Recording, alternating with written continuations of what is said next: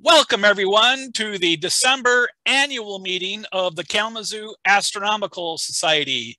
Of course, this will feel very much like a general meeting. So, for the second year in a row, we will not have any kind of holiday party, or dinner party like we were supposed to have this year.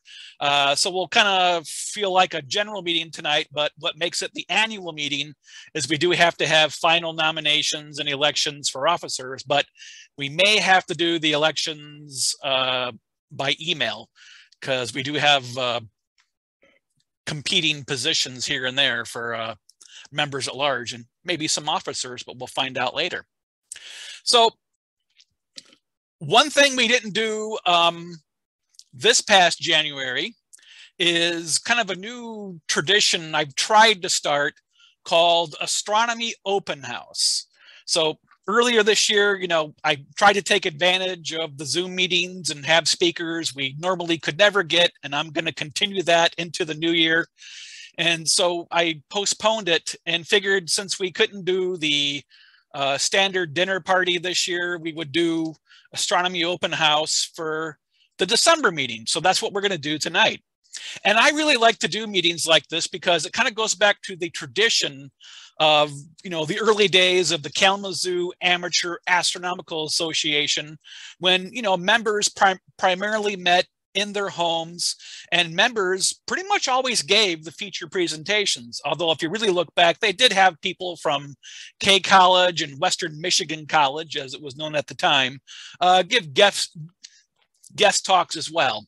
So but it was mostly members you know sharing their knowledge with other members which of course is really what uh, a group like ours is is all about. And we do have a couple meetings that that do this every year. Of course we have gadget night which we're kind of we're going to move to the picnic from now on. I don't think we're going to do a July meeting anymore, uh, but we'll do gadget night to the picnic, so so members can share their gadgets uh, that they build or bought with one another. And we'll continue that tradition because we've been doing that since the 50s. And of course, we'll uh, continue doing astrophotography night every October where members share their astrophotos.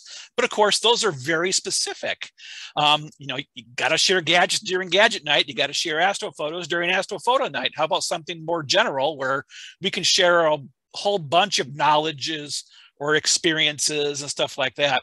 And so that's the uh, uh, gist of the idea of Astronomy Open House. And so tonight we have a pretty eclectic collection of presentations.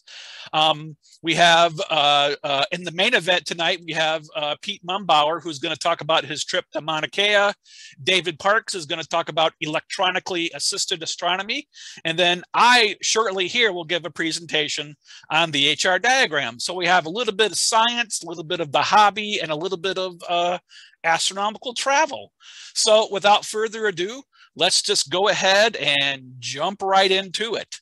So uh, give me just a second here and I will share my screen if I can find the proper screen. And as many of you know, I've given um, quite a few presentations for the Kalamazoo Astronomical Society in my day. And some of my presentations have been, you know, over a hundred slides. And I've been planning on doing this for a while, but I didn't plan on doing it tonight, but I couldn't find another volunteer. So tonight's presentation, believe it or not, you'll probably pass out in your chair, has one slide, and this is it. So as you can see, I'm going to talk about what's called the Hertzsprung-Russell diagram. If you're one of my uh, present or past students, you've heard this before. Uh, so this will be a review for you.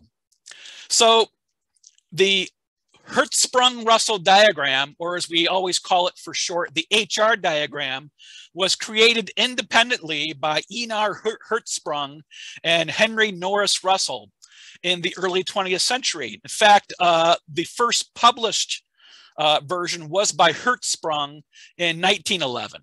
And then Russell made a bit alternate version in 1913. So it was, it was, basically made, you know, in the 1910s or so. And of course, you might wonder, why is the HR diagram so important?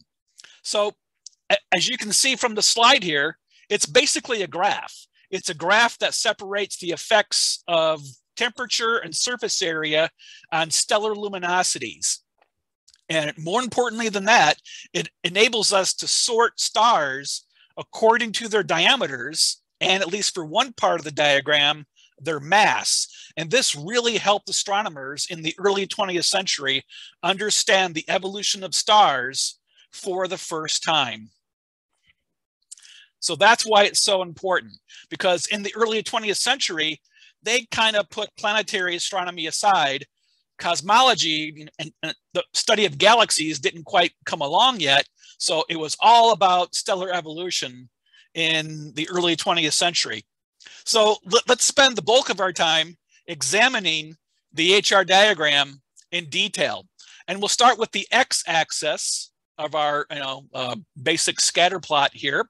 And on the x-axis, we always have uh, a surface temperature. Well, I shouldn't say always, but here, here in this case, we have surface temperature. And you can see it expressed by either the temperatures in, in Kelvin like for example, the, the sun has a surface temperature of 5,800 Kelvin, which is about 10,000 degrees Fahrenheit, or it can be expressed in terms of spectral classification.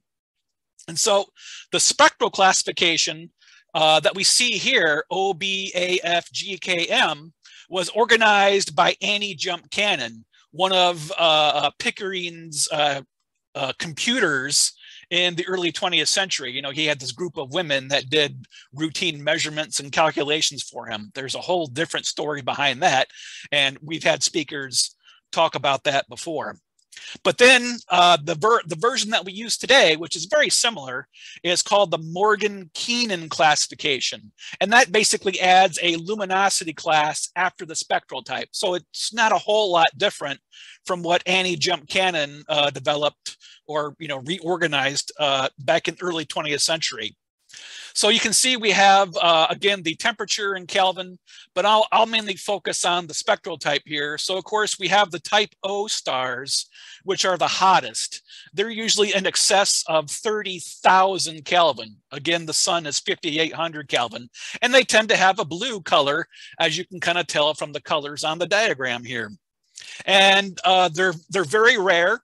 Only about uh, uh, 0.0 0.003% of all stars within the sun's neighborhood anyway are O-type stars. So they are very rare uh, because not every cluster makes them and not and they don't last very long. You know, they have very short lives because they're so massive. They're in excess of 16 times the mass of the sun and and so so they burn through their fuel very quickly.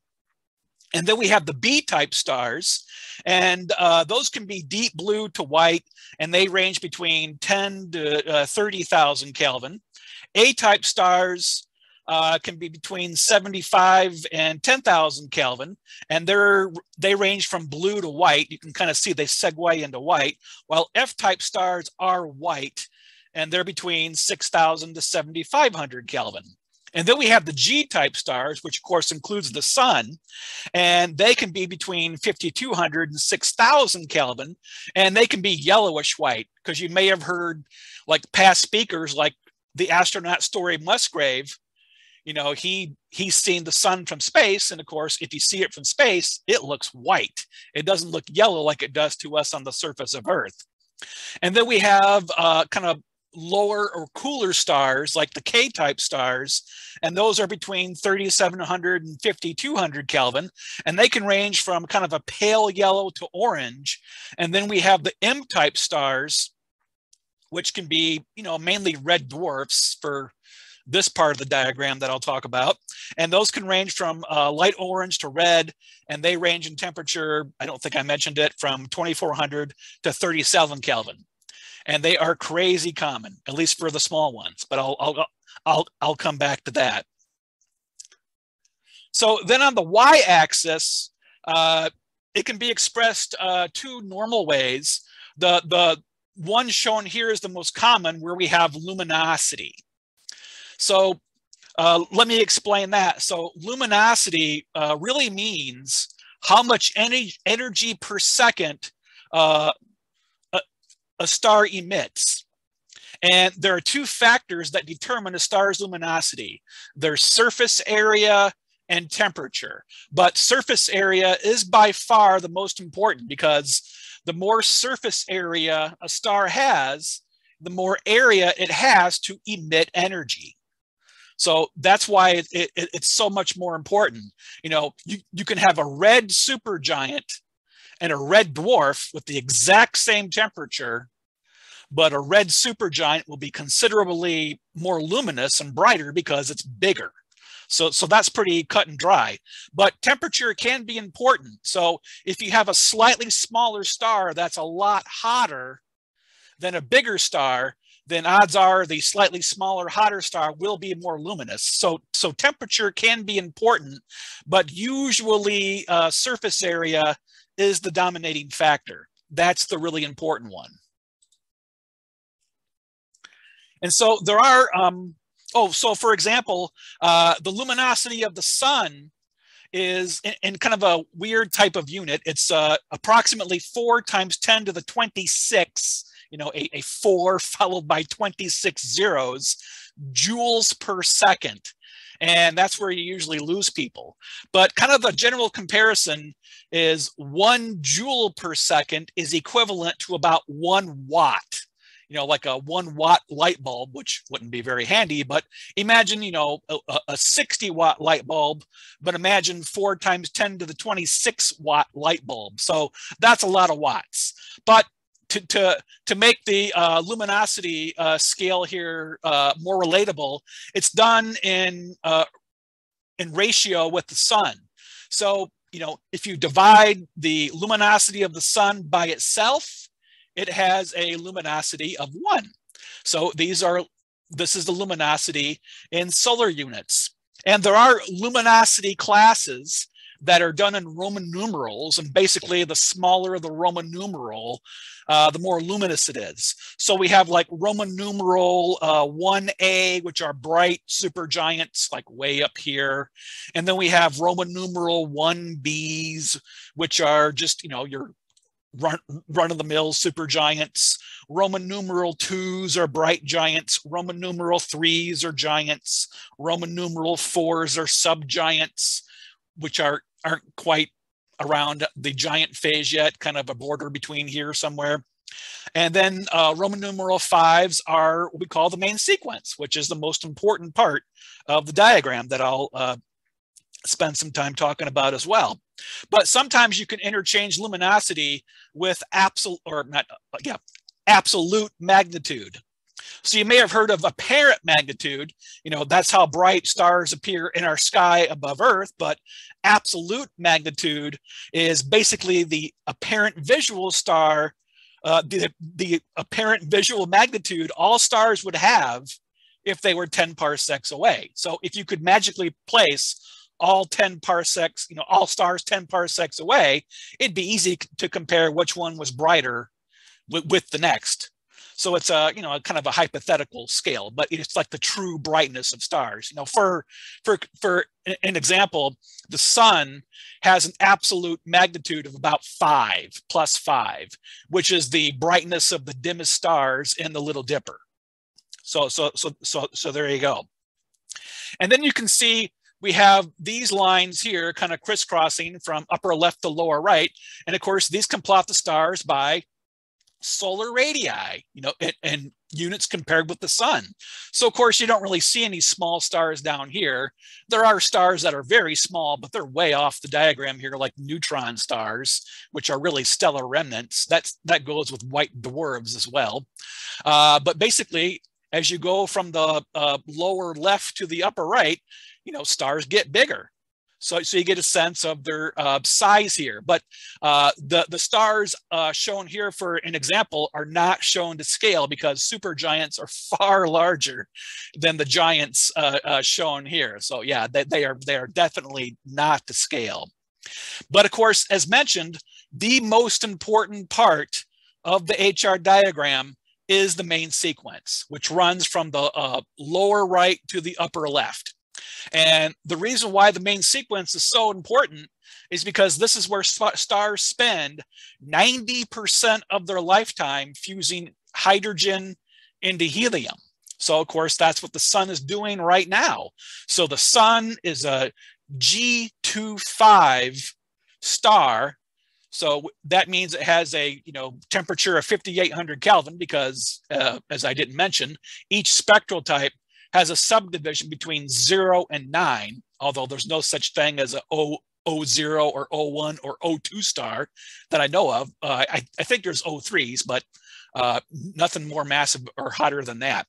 So, so the sun is G2V, which means it's uh, 5800 Kelvin, and it's a main sequence star. So that's why we find it on the main sequence. And when you divide it by itself, it has a luminosity of one. So that's where we find the sun on the main sequence. And the really cool thing about the main sequence when you know stars are kind of in their prime here is this is where you can sort them by, mass or, or they basically sort themselves by mass. So we have the lowest mass stars down here, the red dwarfs, which are by far the most common type of star.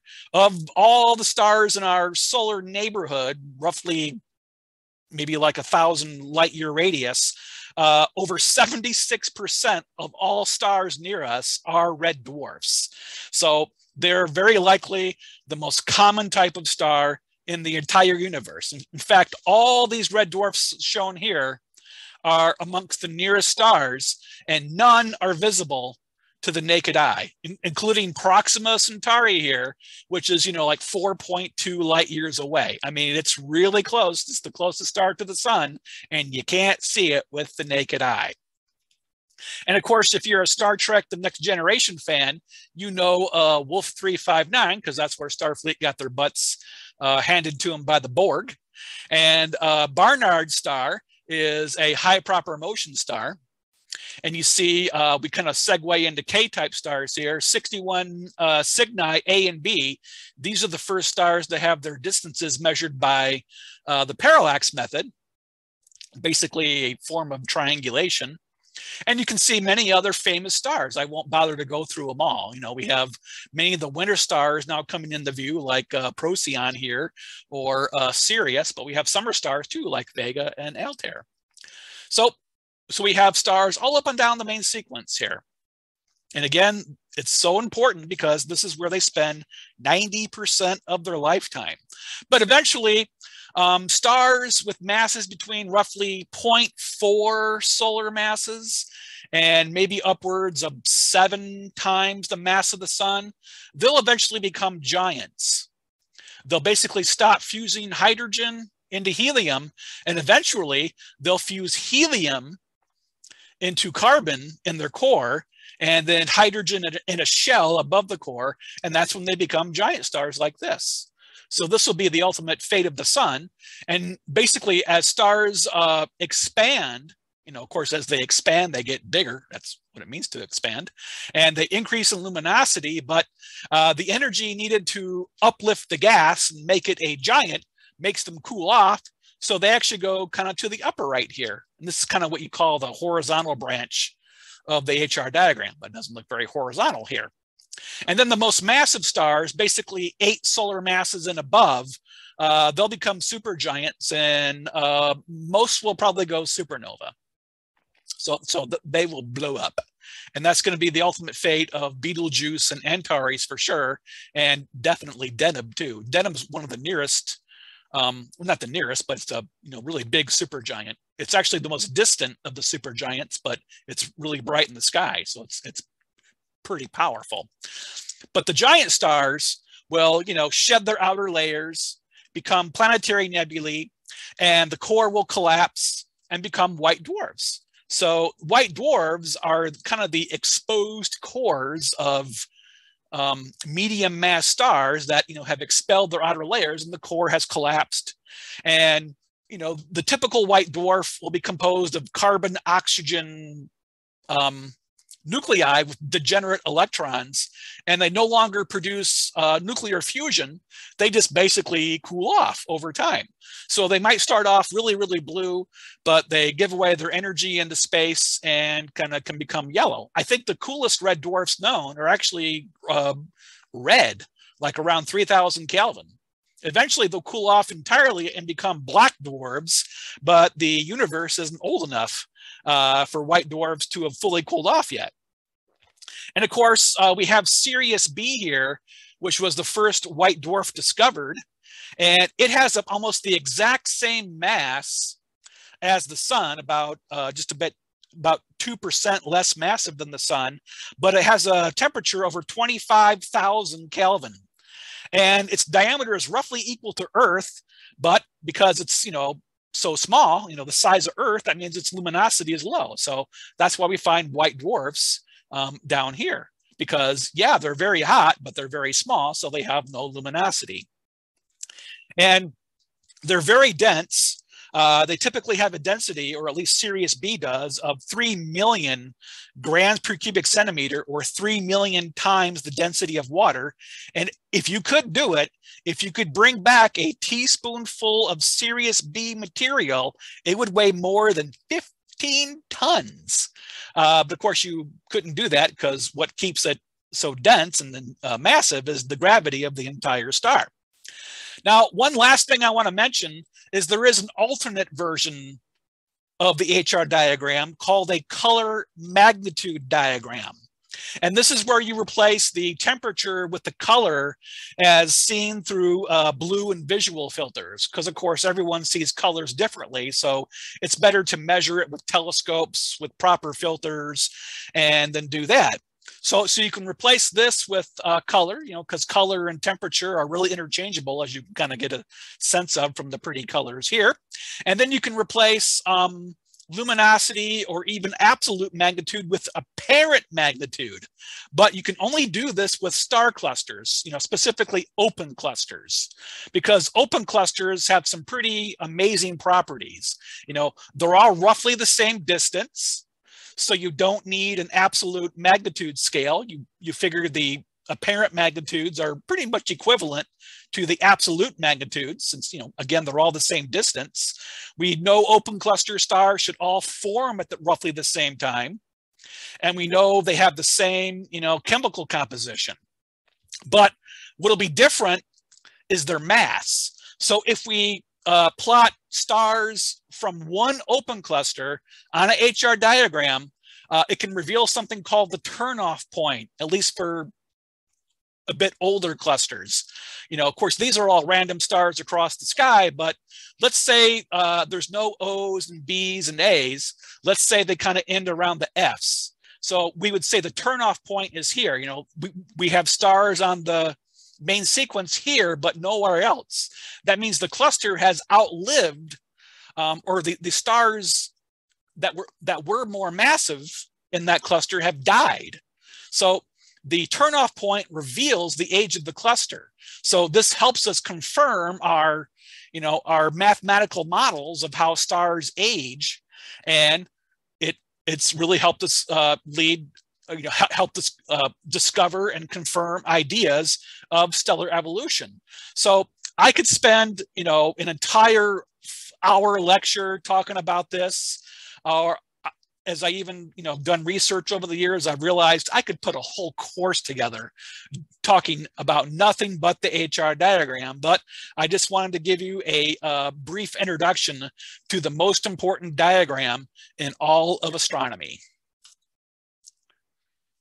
All right, so there's uh, my presentation. But before we jump into the next one, our uh, Alcor, uh, Aaron Roman, wanted to speak on something real quick that relates to my presentation. So uh, Aaron, go ahead and take it away. All right, um, I'm gonna try sharing my screen.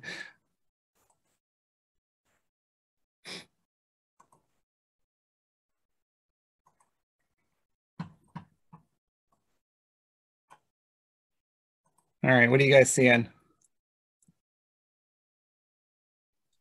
It looks desktop. like we're seeing your desktop. Yep, your desktop. desktop. Did I move it the wrong side? I got two screens. How's that? It's uh, Astronomical League. Uh, there we go. Okay. All right. So um, I know I've walked a couple of people through this, um, but this is the Astronomical League's homepage, uh, and where uh, if you're interested in doing the observing programs, you may spend a lot of your time. You want to come over to this observe uh, drop down, and I like looking at them. There's a bunch of different ways to look at them from equipment needed, experience level, and um, observing programs listed alphabetically. I'm going to go with that alphabetical for now. Uh, and what you see is a whole bunch of uh, programs listed alphabetically with their images next to them and their name. Um, specific to this uh, Richard's presentation, um, you may want to come down here and look at this stellar evolution observing program. Uh,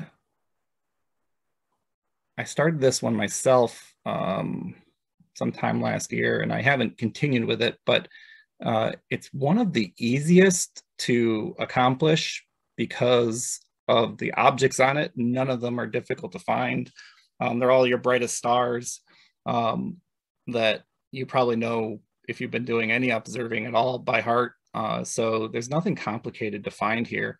But what the uh, presenter wanted to put together was this manual and a way to teach you about what we're looking at in the sky. And uh, this particular presentation is one of the simplest and most direct and most comprehensive for a beginner uh, explanations I've ever read. Um, and so you can see they do go into the HR diagram uh, and they talk about uh, both uh, open clusters and, and stellar birth and neb nebula. Um, they do go through the different colors uh, in some detail, a lot of history. Uh, they've got the breakdown on the um, star layers uh, that you may be looking for. How you travel through the uh, the HR diagram in a star's life, it meanders out, it meanders back in, comes back out, and then crashes down eventually into your white dwarfs. Um, but it's got a really good explanation of everything that Richard just went through briefly. Uh, but you can take your time with it and um, and it's really I understood it a hundred times better after reading this, uh, not once, but three times. Um, I really enjoyed it. And um, I've shared it a couple times with uh, even non astronomy people just to be like, here, if you want to understand stars, read this. Um, but again, it's at the bottom of the, uh, let me see this. Okay, if you go all the way to the bottom of the stellar evolution page, which isn't very far, it's a it's a PDF um, right there. And if you want to see the observing list, um, it is 100 objects like a lot of them are. Um, but it'll give you a good opportunity to start with things like the Pleiades, you know, which is out right now and bright enough you can see through a cloudy night. Um, but it's asking you to observe it and talk about it specifically in its uh, the context of its stellar evolution. So it's a good program, I think. Um, I haven't done it yet, but I'd love to hear more people. But it's not, it's definitely one of those ones if you just want to learn, uh, this is a great place to start. And one of the things that he says right away is any of your past observations do not count for observations during this program because he specifically wants you to make those observations with that manual in hand, learning the HR diagram, stellar evolution, while you're making that observation. And so um, it's something worth looking at. That's about all I got. If anybody's got any questions, feel free to ask. Either shoot me uh, an email or post in the text or the chat. All right, thank you, Aaron. Uh, so, does anyone have any questions about the HR diagram or stars in general before we move on? I actually had a question. I don't understand how a star goes from uh, a red giant and then collapses down and heats up as it goes to a white dwarf. Why does it heat up so much? Oh, oh, you mean the, the collapsed core? Right. Uh, basically, it's it's a simple matter of pressure, you know, okay. um, because uh, you know gravity spends pretty much the entire star's lives tr- trying to crush it to a smaller and smaller size, you know, denser and denser size. But it, it's the um, it's the fusion generated in the core that you know gushes out energy that that balances the force of gravity it's it's what they call hydrostatic equilibrium so of course gravity is always going to be there as long as you have mass but the star is not always going to have fuel to burn because you know going from hydrogen to helium or you know from helium to uh, carbon re- requires a core temperature of 100 million kelvin. And that's where the sun's going to quit. So so once the sun burns all of its uh, uh, helium that it's making today into carbon that's when the core is going to begin to collapse and just basically heat up through pressure. And then the you know the, the outer layers will you know gradually implode, you know, and rebound and shut off their layers and become the planetary nebulae. And the core just gets as dense as it can and gets just hot through pressure. But eventually that that that will that heat will be relieved in the space and then, then it'll just be a black dwarf. But again that won't happen for a long time. So yeah it's, it's just pressure. Okay thank you. Yep. I have a question. Sure. What is a carbon star it's uh, uh, basically a, a, star with a, uh, a carbon rich atmosphere that's the really short answer so they're they're often prized to look at because you know they're they're very red. And that's it. It's just I mean we haven't talked about them in, in the course that you. No, yeah, I, yeah, yeah I, that's one of the few things I don't cover. I can't cover everything, but yeah, that that's the really short version of what of, of what a carbon star is. It just has a very rich carbon atmosphere. Okay. A lot of Thank soot, lot, lot of soot in the atmosphere.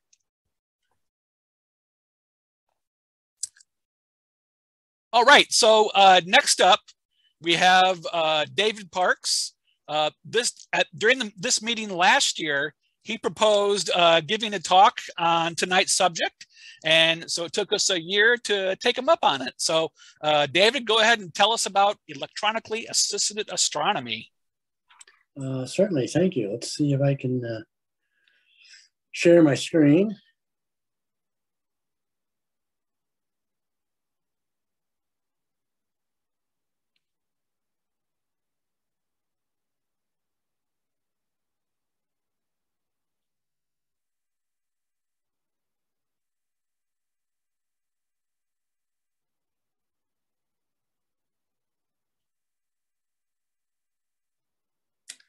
There, hopefully you you can see my screen all right.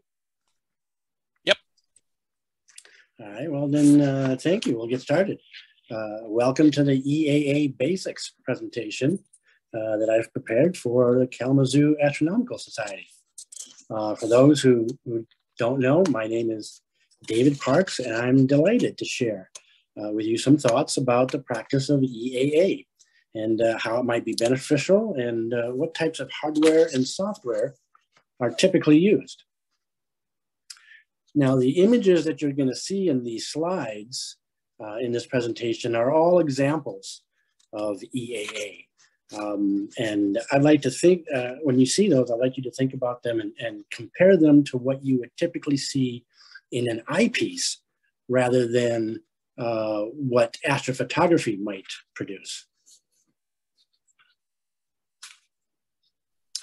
So electronically assisted astronomy typically has a very broad definition that allows a wide range of equipment and techniques to be used. However, it generally means that you are using some form of electronic equipment to enhance observation in real or near real time. Meaning you would generally use whatever technology you've chosen to capture relatively short images, short exposure images, uh, over a relatively short integration time. Anywhere from 10 to 30 seconds uh, might be your typical EAA exposure time, and often only viewed uh, for five or 10 minutes in order to appreciate details that you would not observe visually alone. This is usually plenty of time to generate a satisfying image while still keeping the experience more akin to observing rather than imaging. While uh, 10 to 30 seconds might be typical, there is nothing preventing you from using longer exposures, uh, one to five minutes, or from integrating for a longer period of time, aside from the limitations of your mount, uh, light uh, pollution, and other factors. Of course, longer time spent either in exposure or integration may shift the experience more towards imaging rather than observing. One of the reasons the definition of EAA is so broad is that you can tailor your experience to fit your equipment, your sky conditions, and your observational preferences so that you settle upon your own definition of how EAA works for you.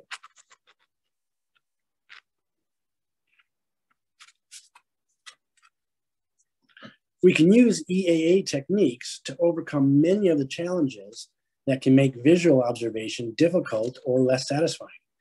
Maybe we live in an urban area that suffers from light pollution uh, caused by street lamps or other outdoor lighting. Maybe we have vision problems or wear glasses and find it difficult to use eyepieces. Or maybe we just want to see more than the faint fuzzy cotton ball we've all seen so many times in an eyepiece. EAA allows us to view in near real time an image that reveals fainter objects than what we could observe visually, including extended objects and structural details using modest equipment and often in not very uh, the not the very best conditions. In short, EAA allows us to see more with less.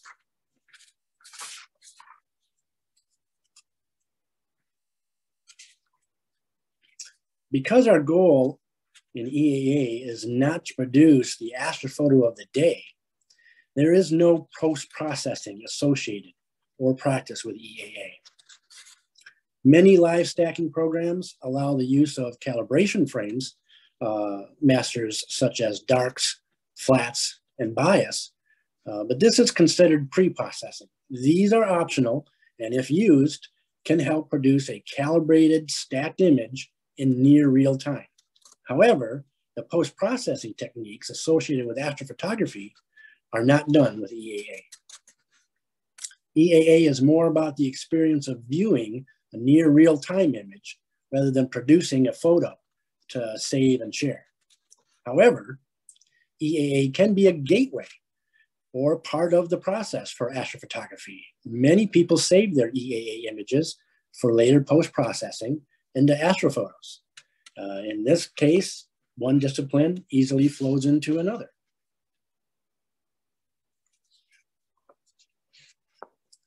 Any type of mount can be used, even manual mounts and photo tripods.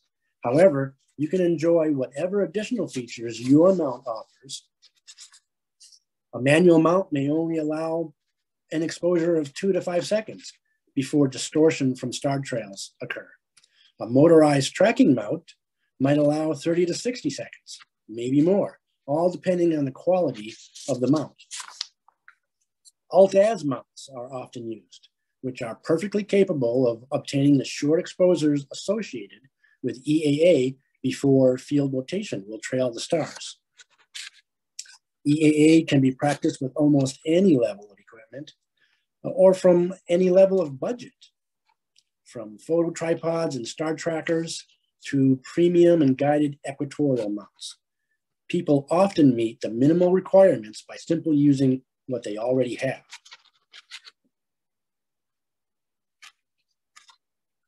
Short exposure live stacking greatly reduces the requirements of the mount and allows one to see details in much lighter and smaller aperture telescopes than what is accustomed in visual astronomy. It is still true that larger aperture will collect more light and resolve finer details. However, by using a camera and software to stack short exposures, you will be able to see more details even in a small aperture than you would visually using a much larger aperture. When comparing the view through a small and large aperture, of course, the large aperture will show more. However, we are here comparing near real-time imaging to traditional eyepiece viewing.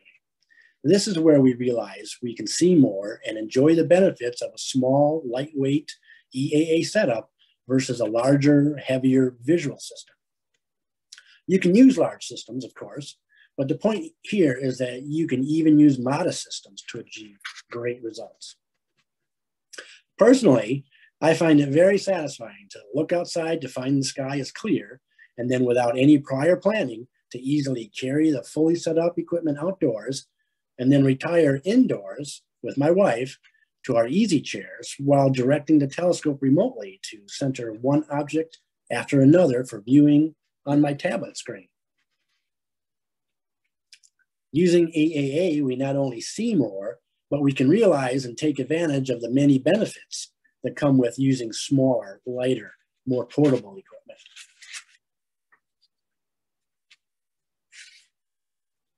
Of course, you will need a telescope, mount, and some type of camera. While a video camera, such as the Revolution Imager, will only require power and a viewing screen, more often dedicated CMOS astronomy cameras are used with a computer and software to live stack and view images. Using a computer also allows us to simultaneously control the mount and other equipment we may have. If you choose to use a PC, laptop, or other Microsoft Windows-based computer, then you'll find SharpCap is the most recommended software for live stacking and other features useful for EAA. ASI Studio is another popular software suite used with ZWO cameras capable of live stacking. There are uh, Raspberry Pi-based solutions, which is a small pocket-sized computer that you would connect to remotely using a laptop, tablet, or even a phone. ZWO offers an excellent accessory for their cameras, focuser and filter wheels, that includes the ability to polar align, autofocus, live stack, or do full astrophotography sequences, all from your iOS or Android tablet or phone. I use one of these ASI Air products to wirelessly control all of my equipment and to view live stacking on my iPad. This eliminates the need to carry, connect, or power a laptop.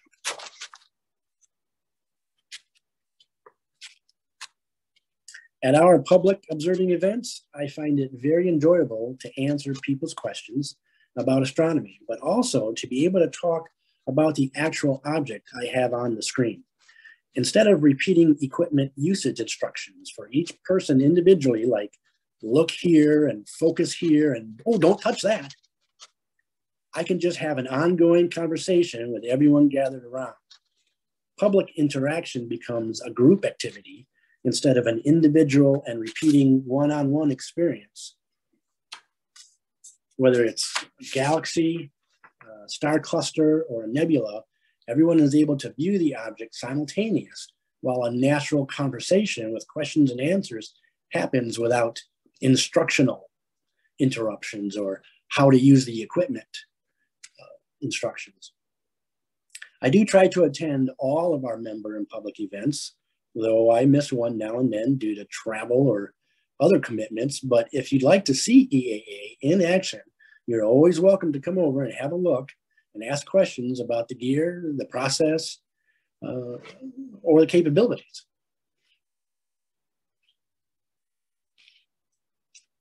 Now, these uh, that I'm showing now are not the best examples, but I wanted to show that even the worst examples are still capable of showing more detail and sensitivity than uh, you might see visually alone.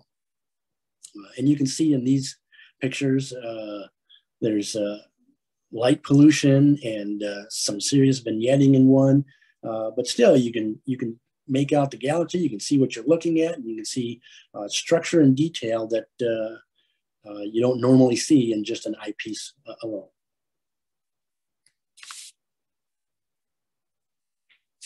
So uh, that really is the end of my presentation, and, and I can take questions now or uh, as suggested earlier by email or at any time. Great, thanks, David. David, I have a couple, I have, I have a few questions, Sure. uh, if you don't mind. Um, the, uh, basically, let's, let's talk, um, about price here. What, what kind of, just to get started on something like that, what kind of cost? Let's say I have a telescope already and I have a, a mount, like I have the normal telescope whatever and mount. What would it cost to get something that would allow me to see? And say I have a computer too. What would be the what would be the cost of getting started in something like that? Well, that that's really a great question, and uh, the answer is going to be different for everybody. Just just as you mentioned, it, it, some of it depends on what you already have. You've already got uh, the the telescope, the mount, a computer. Um, so basically, you know, you might want to add a camera. Now, people do use DSLRs. That's possible. Um, I've never done that, but uh, any kind of DSR DSR that you can connect uh, to your computer and control through ASCOM, perhaps, uh, is capable of, of doing live stacking. Uh, and like I said, most people at that point would go to a CMOS camera. So you might be looking at uh, one of the popular CMOS cameras. Um, and the software, uh, there's a lot of free software or very low, low cost software. Um, SharpCap uh, there's is free. There's also a, a, paid version of it, which isn't very expensive. Um, and so, you know, basically for you, it sounds like maybe the cost of a camera would really get you going. And what would um, that, with what you have? like a camera that you mentioned, what would that be? Like just a, a ballpark figure just for, yeah, kind of a low to mid range, mid mid end type thing. Um, And I just, I don't, I mean, just, just really ballpark is. I, I right. an Uh, I would say, um, looking at the, the common ZWO or QHY um, cameras, uh, you could go anywhere from, uh, I'm trying to think of what the price of like a, an ASI 224 is. Um, two, $200 maybe, Okay, um, you know, anywhere up to, you know, you know, the sky's the limit. Right. Uh, two two thousand two thousand dollars for uh, an ASI twenty six hundred. Okay, Uh, you know, just depending on you know, and and there are ways to um, better match certain uh, cameras to the type of telescope you have, whether it's a refractor or SCT or or or whatnot. But you can use any type of telescope. Um, some are uh, maybe um, more uh, flexible than others. Uh, you know, an, an SCT, for example, um, is a, a great kind of jack of all trades telescope because you can use a reducer, you can use uh, Barlow's, you can use Hyperstar uh, to achieve many different focal lengths. Um, whereas you might not be able to do that as easily with a refractor. Um, so, you know, there are advantages and disadvantages uh, to any type of telescope, but any of them can be used. Um, pretty much like uh, any camera as well. one other quick question, if you don't mind. You had a slide kind of sort of toward the beginning, maybe the third or fourth slide. It had the word AP in it. And I was kind of curious as to what, it was a list of things. And I don't remember exactly what, what the, what the slide said, but it looked like it was, um, I think it had. I think that was probably a reference to um, astrophotography. Oh, okay, okay. AP. Yeah, all right.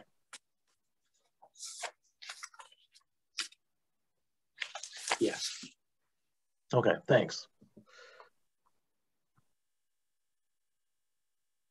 Which camera, David, um, uh, which has, uh, eh, I- I'm talking about a DSLR uh, auto,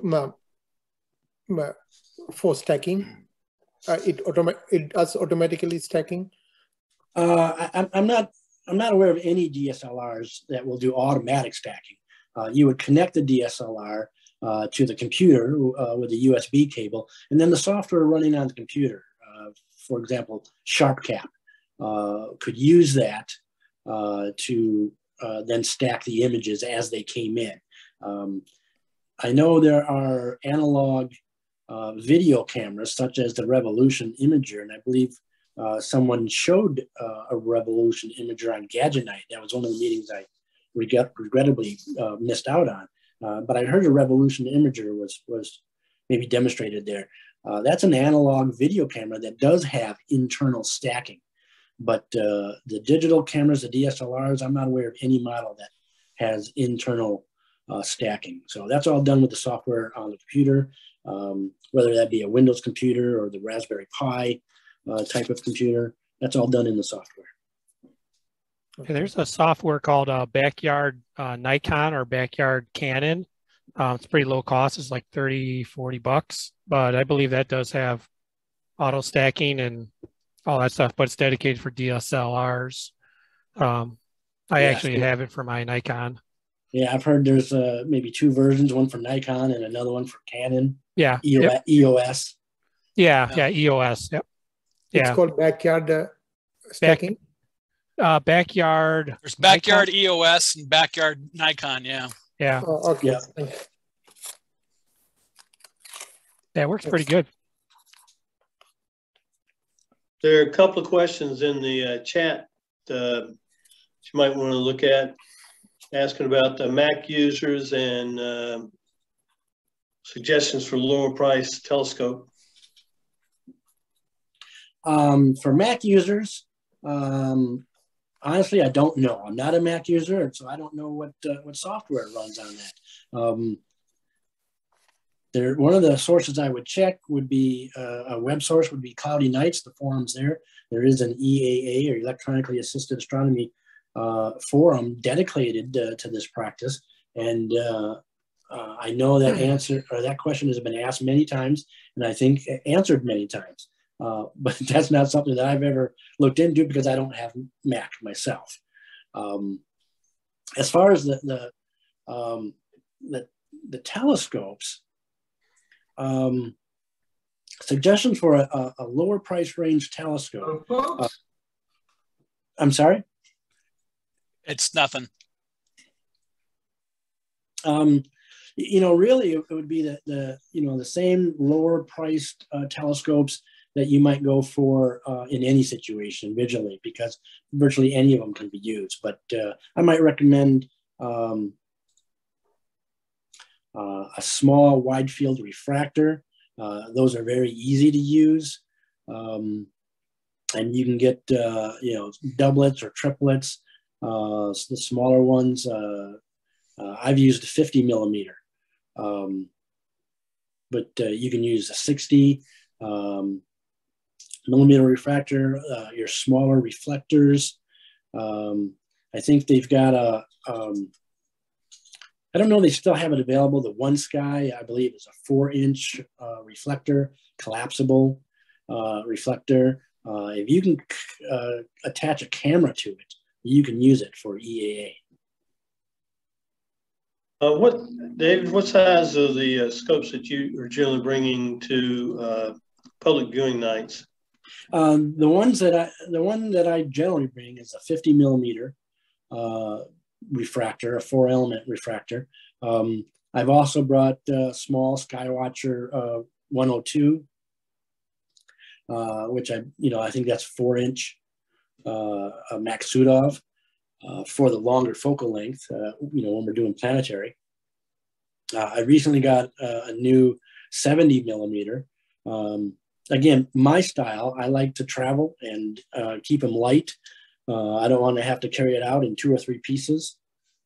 Uh, and uh, the 70 millimeter, even the 50 millimeter refractor that I use um, gives me great results. Uh, again, uh, when compared to looking at an eyepiece, um, it's just wonderful. And uh, for those who have seen the screen at the at the outings, I think they've all enjoyed that view as well.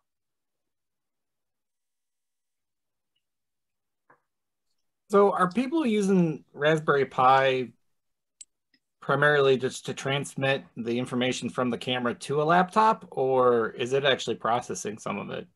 It's actually yeah, you're generally doing the processing. So the Raspberry Pi uh, is really the workhorse, um, doing the stacking, controlling the equipment, uh, guiding if if you want to use guiding, you don't have to, uh, but it's doing all of that, and you're really using uh, the device that you're connecting to the Raspberry Pi, whether it's a, a laptop or a tablet, um, just as that remote viewing screen. So it's just a monitor at that point. Correct. The, all the processing, the stacking, that's happening on on the Raspberry Pi. Oh, that's cool. Um, yeah, lot, you know, a lot of people are concerned that you know it doesn't have the processing power, and the Pis um, have plenty of power to do that. Uh, they're not running you know large OSs with, all these other services and so forth. Um, so they uh, work very well, uh, whether it's um, K-Stars or Astroberry. There's a couple of uh, Raspbian Pi builds specifically for astronomy that, uh, you know, so they have got the planetary program on there and they're using um, a platform called Ekos uh, and INDI to uh, connect to the mounts and, and the cameras and uh, any other equipment that you have and to uh, take those images and stack them live and then send the result of that stack remotely to your to your monitor device. You know, we talk about maybe doing a, a telescope building uh, special interest group, but I, I would throw equally uh, in there maybe to do an assembly like like that. A system um, building thing. Yeah. Uh, if you were interested in leading something like that, you might, I don't know, there might be a little interest in that. There might be, and I, and I do find that can be an interesting topic myself. I mean, I do know that a lot of people um, acquire equipment, um, you know, one piece at a time. Uh, maybe they're on a budget, or uh, their viewing uh, habits, their their interests change, and so they get a piece that um, might be, you know, more geared towards, uh, you know, this or that uh, interest at the time, but later they're interested in something else. And so, how to build a system uh, completely that um, you know uh, kind of sees the forest through the trees. You know, a whole system that is balanced and and uh, each piece is kind of made to optimize the strengths of all the other pieces uh, instead of uh, working at cross purposes or um, um, you know stressing on maybe the weaker points and, and becoming uh, the worst thing for the job at hand. You know, it all kind of okay. depends on your goals. Right. So, yeah, yeah, that could be interesting. Isn't there an eyepiece type device where you put it in the eyepiece and then you can actually see it kind of like a kind of like a kind of like instead of watching it optically you're watching it through a uh, on like a TV screen or something like that. I don't know. Where are we talking about getting one of those one time? That's uh, the uh, Revolution Imager. That's basically what the Revolution Imager is. Yeah. Okay. Yeah, and that's and that's an analog video uh, camera, um, and MallinCam also has one based on the same technology. Uh, I think it's probably a little little higher resolution, uh, maybe than the Revolution Imager, but um, th those require uh, you know a very small power source, 12 volt, uh, in order to power the camera itself, mm -hmm. and uh, maybe a small um, LCD screen. Uh, the Revolution Imager I know comes with one, uh, but you can connect uh, even larger screens to that uh, output. Um, those are those are interesting cameras. They, they come out of the uh, security camera market, um, uh, and that's what makes them useful for low light application. Uh, but interestingly, they have internal stacking, uh, which is really neat. Hmm. Very interesting.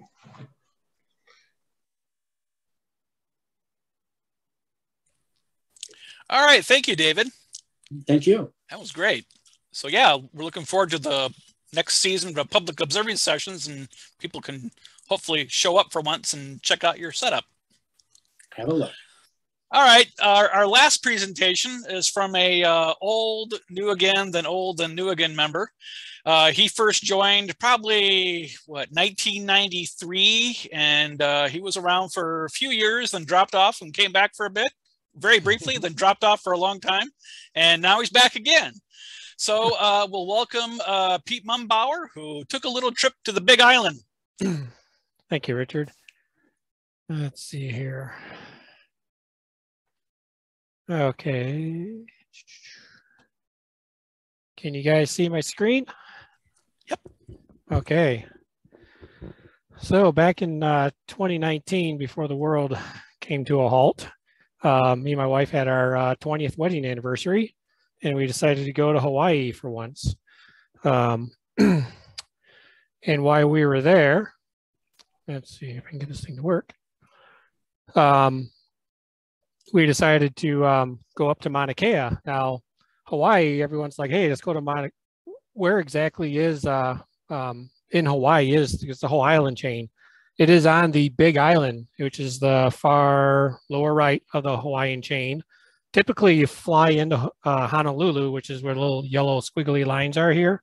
And if you look here, you got 20, here's your latitudes here. It's actually below 20 latitude. So typically you take your major airlines and you fly into the big island and then you take another airline, Honolulu, or you take a boat if you don't like flying anymore. Um, and you fly over to Hilo, which is the yellow arrow. They have a small airport there. Uh, we ended up staying at a hotel right on the beach and all that fun stuff. Being, you know, anniversary, you got to be romantic and all that fun blah stuff. Um, and Mauna Kea is actually the uh, volcano on top of a volcano, you know, top is where the red is. And to actually get there, there's a highway which divides the island in half, more or less. That's the fast way to get to the other side. Kona's on the left side. Um, that's where all the really touristy area is. Um, beaches, all that really nice beaches around that side. So you can take the uh, highway to drive across. Um, and that's what we did. we drove, took the shortcut. We didn't want to go all the way around. That takes a while course, we were there for 10 days, no kids. So, hey, whatever. So, to get all the way up to the observatory, you actually um, get off the highway and you drive up this long, winding mountain road and you make it up to the visitor center. And they make you stop there, or they really recommend you stop there for 30 minutes because you are going from sea level to 14,000 feet, which is a major drop in oxygen. Um, 40% less oxygen actually at the top than it is at the bottom. So, and they actually have warning signs like if you've been scuba diving or plan on scuba diving, you don't want to do this because you probably won't make it type of thing. Um, so the visitor center is at 9,200 feet up. It's a really nice parking lot. Um, actually, you can see my wife there. She's at some picnic tables. We had, I think we had some lunch there or something. Um, typically, if you want to do observing or go um, uh, bring your telescope, or actually they have some, as you'll see in a minute here, they have um, um, a public observing program. You can go up there um, and do stuff. Uh, gift shop, get your typical trinkets. I got, you know, I got my coffee mug from here. I got some shirts, all the good stuff. Um, so you drive all the way up to here, you get up to this point, get inside to the visitor center, and this is their telescope they actually drag out. It's a uh, it's a Celestron uh, uh, RASA. I think it's 11 inch or maybe the 8 inch. Uh, it's like a Hyperstar, but it's dedicated. It's on an Astro-Physics uh, 1100 GTO. And this was my secret insertion point of the idea hey, honey, well, I'd like that mount someday. So, you know, that's a pretty cool mount. So, um, I actually did get it years later. Um, so they have some really nice equipment. They drag it out into the, obviously they use the wheel wheelie system, which is really nice. They take it out there and that actually that little guardian, that little um, barrier system, that wasn't keeping the kids there away. They were climbing all over the thing. Wasn't good. I think Richard probably could relate to that back in the uh, um, uh, uh, the museum days. They probably climbed over everything. You know, the little signs don't stop them. But um, it's a really nice um, gift shop, visitor center. You can ask all sorts of questions. Um, yeah, so you're going up a volcano and they really want you to have four wheel drive. Super important because while it's all paved driving up to there, once you get to the visitor center, it's not paved, it's dirt. Actually, you can see in this background, there's some rocks and stuff. And at the very top of this picture, you can see they actually do you some service and show what happens when you don't have four wheel drive. There's cars tipped over, crunched, destroyed. I mean, little cars. I mean, this road is like serious. They even show, you know, you don't have like low gear, your car catches on fire, your brakes just, you know, fire. It's totally crazy. Um, 12 to 20 degree slopes going up. I mean, this is some pretty serious stuff. And you got, and it's three and a half mile drive. So big sign, hey, you better have four wheel drive. Um, obviously, there's a lot of rental car places. Um, there's only one place that I think I'm aware of. It's in Hilo that actually rents four wheel drive, and they actually allow you to drive it up there. Most places, even if they have four wheel drive, they say you're not allowed to take it up there. Obviously, people don't listen to people usually, and they, as you'll see here in a minute. Um, actually, I'm gonna scoot back here. Yeah, you can see down at the bottom. There's more examples at the bottom. Two more Jeeps on their side. There's a car on its roof. Another car on its roof. Green Jeep on its side. Crazy. You don't want to drive fast. So, uh, I had more fun with driving up this thing than anything. Um, got a little video here. Hopefully this works. This is us driving up the hill.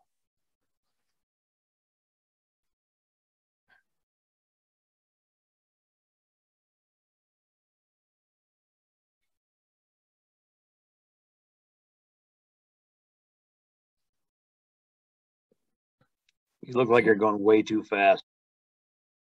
Drive fast, take chances. Looks like the moon.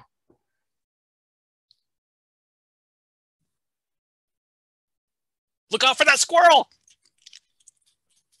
Do they warn you about snow on that drive, Pete? Yep. Now we're going to pause here.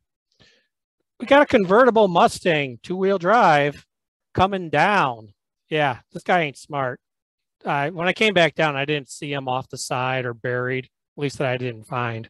Um, crazy, crazy. Uh, I don't know. He was probably drunk. Yeah, you know he was riding his brakes the whole time down.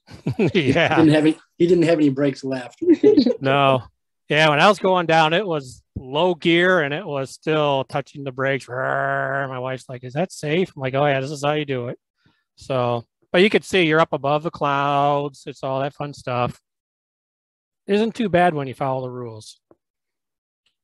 So finally, we get up there, and this actually a picture I made up there. Um, summit, 13,803 feet. Um, I, I rounded up to 14 so it sounds cooler.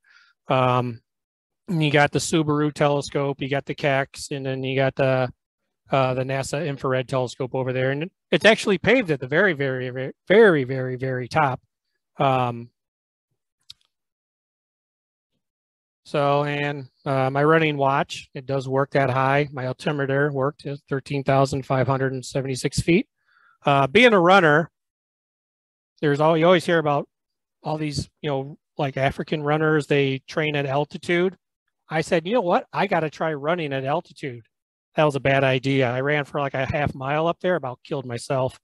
Um, actually got yeah, it was not not a good idea. Anyway, so while we're up there, um, trying to think here, what do we got? Oh, this uh, little.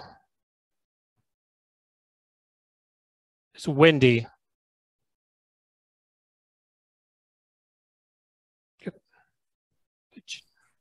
Got the Gemini telescope. Um, that's the, oh, which one is that? Is it the Canada France Hawaii telescope? Yes, that's what it is. Yep. Okay, so from this vantage point, when you come up, uh, this is I'm kind of standing in the same spot, kind of pulled off to the side of the road, and this was my first kind of vantage point to get out, take bazillion pictures. Um, from the left here on the right down here is the Caltech submillimeter observatory. It's actually not in use anymore. They abandoned it basically. Um, you got the James Clerk Maxwell telescope, um, the Smithsonian, uh, the submillimeter array, get some closer picture of these, and then the Subaru telescope. That's a big guy. Pretty cool. If you look up here, it's obviously there's no vegetation. Obviously, you're, you're way up there. Um, and I think someone mentioned earlier before the meeting started, there's actually a blizzard warning right now at the summit. It is crazy, 100 mile an hour winds. Uh, I don't know how much snow, but way more than we really want. Um, so yeah, the Caltech submeter telescope. It's a 10 point, 10.1, 10.4 meter. Um, it was designed to go into the terahertz, I believe, um, frequency range. Um, yeah, they dismantled it. They they stopped using it. Lack of funding, basically, and they just it just sits there now. Um, it's kind of a bummer when you see the funding drop for some of these science projects. Um, I don't know what they're, I don't think they're going to replace it with anything right there. Um, I think there's a, like a, yeah, they like to, uh, you know, keep the mountaintops since it's uh, sacred for the islanders, um, for the Hawaiians. There's been a lot of controversy with the 30 meter telescope construction. They haven't even started that. A lot of um, uh, issues with that. So uh, the Caltech submeter uh, observatory. This was uh, actually one of my favorite pictures. You got the little pads here. Um, these aren't really that big. I was surprised. I was thinking these things were going to be like, you know, Jodie Foster and Contact and Humongous. No, they weren't. These things were like, you know, shed sized in your backyard, eight by 10, eight by eight, like Owl Observatory size. These things aren't very big. They're pretty cool looking, but um, millimeter um, all array, they link them together and do all that cool stuff. Um, it looked like Mars. I imagined myself like in the Martian, you know, it was, it was pretty cool to be here. Um, it was cold. Um, so I was the one outside taking all the pictures. Uh, the Gemini North Telescope, uh, humongous, eight meter. Uh, the Gemini South, is located in Chile, so they can have, you know, their twin doing uh, observations. Um,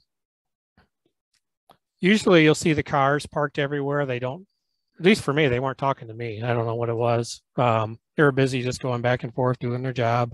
I don't know if he's got to know know people on the inside to get into these things.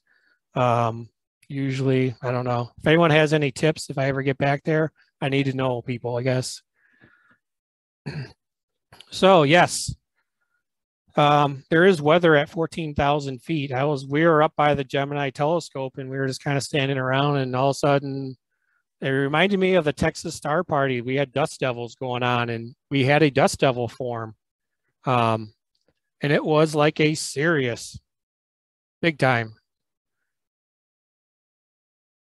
Yeah, my wife's saying walk away. No, not me. You walk closer for these things. So um, yeah, that little observatory in the background, University of Hawaii's 2.2 meter. Um, I'm not even sure what type of telescope or what kind of program they do in there. But that um, dust devil kind of, or whatever it is, not definitely not tornado. Um, it lasted for about five minutes, just kind of going around that whole area, just doing its thing. Um, I posted it to my Instagram account and I had like all the weather accounts go nuts over it and they're, hey, can we share this? Blah, blah, blah. I guess it's pretty rare for being that high. Oops. Um, yeah, high winds, porta potties, you got to strap them down. I found out up there. So I'm sure those things were not strapped down at one point and they had to strap them down. So hopefully someone wasn't inside the porta potty when it blew over at one point. But um, they did a pretty good job. I mean, mean those suckers are cranked down for those uh, metal guides to um, at least they put porta potties up there. This is right by the spot where you go if you want to go up there to uh, watch the sunrisers. Um, yeah, or sun sunset actually. Um, they generally don't want people up there at night. Um, obviously, you can't turn your car headlights on because they get really upset about that. Um, same thing, no no cell phones allowed, no Bluetooth, no Wi-Fi, nothing. All the, the your phones, that's all electromagnetic spectrum. You got all the submillimeter arrays, Obviously, lights at night, they don't like that. Um, but so you can go up there still, and there's some um, commercial uh, tour groups that down in Hilo and uh, Kona that they you know have a bus. They go up there and you can watch. The, they can actually do observing. They'll drag a couple Dobs up there. Um, you can do some observing from the summit. Um, from what I understand, the observing is actually better down at the visitor center because there's more oxygen. Your eyes start going wacky and losing their sensitivity so you actually see more stars at, you know, 5,000 feet below. Um, and then obviously when you hear about Mauna Kea, you think about the Keck telescopes. These are the, the, the big guys up there. Uh, they soon won't be the big guys anymore if the, the 30 meter gets built. Um, two uh, 10 meter telescopes, uh, one built in 93 and one 96. Um, when they originally were built, the whole idea was they could be connected as an interferometer. And for years, I actually doing some research for this, and actually at the um, when we were there, it wasn't an optical interferometer from visual wavelengths, it was more inf infrared. Um, and sadly, that was discontinued too for lack of funding. So they don't even do the interferometer anymore. Um, so they're used independently. Um, they do use adaptive optics. Um, they shoot the lasers to do artificial stars, but um, it's sad because when it's in interferometer mode, it's an 85 meter telescope, 85 millimeters. And so, yeah, five milliarc second resolution. That is, that, that is as of right now, that would be the largest telescope on the planet um, when it's combined outside of like the very, um, yeah, the very large uh, array uh, radio telescope, which actually that's one picture I did miss. When you're driving up the mountain, there's a little side road where actually one of the radio telescopes for the very large array is actually located. Um, and I believe it's right across, there's a lake up here, which I didn't know about. Um, and actually, I think it was dried, dried up at the time. But anyway, so inside the, um, the Keck telescope, there's actually a visitor center. Someone can, we can actually go inside, uh, the only place up there. So they have, it's not really big. You can just go inside. They have like uh, this little um, plaque um, that's set up in there that tells you a little bit about the construction. You can see the, you know, the diagram of how big it is inside the dome. It, it's a tight fit. Um, they do have a bathroom inside too, which is better than the porta potty, I'll tell you that. Um, and they do have what I call the cage. It's this, you walk into this little like glass room. It's totally plexiglass in and you can see little barbells, little bars basically that keeps, I guess, telescopes from falling on you. But here you can see the Keck 1 telescope and all of its segmented mirrors because to get to 10 meters, it uses, uh, I believe, 1.1 meter um, uh, honeycomb or uh, hex mirrors. And this is it. It's a you know big uh, alt-azimuth mount, um, humongous aperture fever. When I saw that, I was like, man, I have a small telescope here. Um, it's in the park position. Um, and I believe you, uh, you couldn't see it from here, but they have the big, uh, they have a big white screen for doing flat frames. You know, obviously you got to calibrate the Keck telescope too. It has optical imperfections. Um, each of those mirrors from reading some of the stuff there, they, they have little actuators. So part of the, um, the adaptive optics, it can slightly distort every single mirror so it can, you know, counteract the atmosphere and being at 14,000 feet, you're already a good chunk of the way out of the atmosphere as far as where most of the turbulence happens. And so you get some really good images from up there. Um, but you can see it's just really minimum in there. It's just metal frames or they do everything they can to keep it, you know, very, uh, it can cool down very quickly. Um, and that's it. Um, besides just driving around, there was a few, you know, service roads and this and that. Um, and then uh, obviously driving back down took forever because it was driving downhill and you had to go slow. Um, we had a really good time. It's definitely if you're ever in Hawaii, you have to, like I said, you go to Mauna Kea, you got to get over to the Big Island, which is um, typically an airline flight, which is I don't know what the prices are. It's uh, Hawaiian Airlines is I think the only one that services it. You fly into Hilo. There's one one rental company that takes a Toyota for 4Runner, and that's how you drive up to the top, or you do a or do a commercial uh, tour group, and it'll take you up there too. Um, especially if you want to see um, like the sunrise, sunset, because they'll have like hot cocoa and little snacks and whatnot. But if you do plan on it, do what I didn't do. Bring a jacket because you're going to Hawaii. You don't bring a jacket going to Hawaii because you're thinking like you know, yeah, you can be like Hawaiian 5 0, you can be shorts and you don't need a winter jacket. It was cold up there. So, did he take any of the uh, chopper tours and uh, hover over the volcano? Uh, no chopper tours. Um, actually, mono, uh, the actual volcano at the time, the entire lava lake had emptied. There was no lava at all in the lake itself. We we, we went there. We walked around the um, the whole. Um, it was actually a uh, a volcano observatory was there. They have one there. Um, and that's what they talked about. It's like there's no lava in there. So we went over to the various spots to look into the main pit and really there was nothing. It was black. He had steam coming out. A couple years back ago, they had the big, the big um, uh, eruption where it kind of went through and like took out like neighborhoods. We drove down the road and I got some pictures. It's like 15 foot tall, like, you know, frozen lava is like, and there was still like power crews, like working power lines trying to reroute the power and stuff. Um, I just read here though, like last month or so, that the lake is now filled back up with lava. So the lava is back.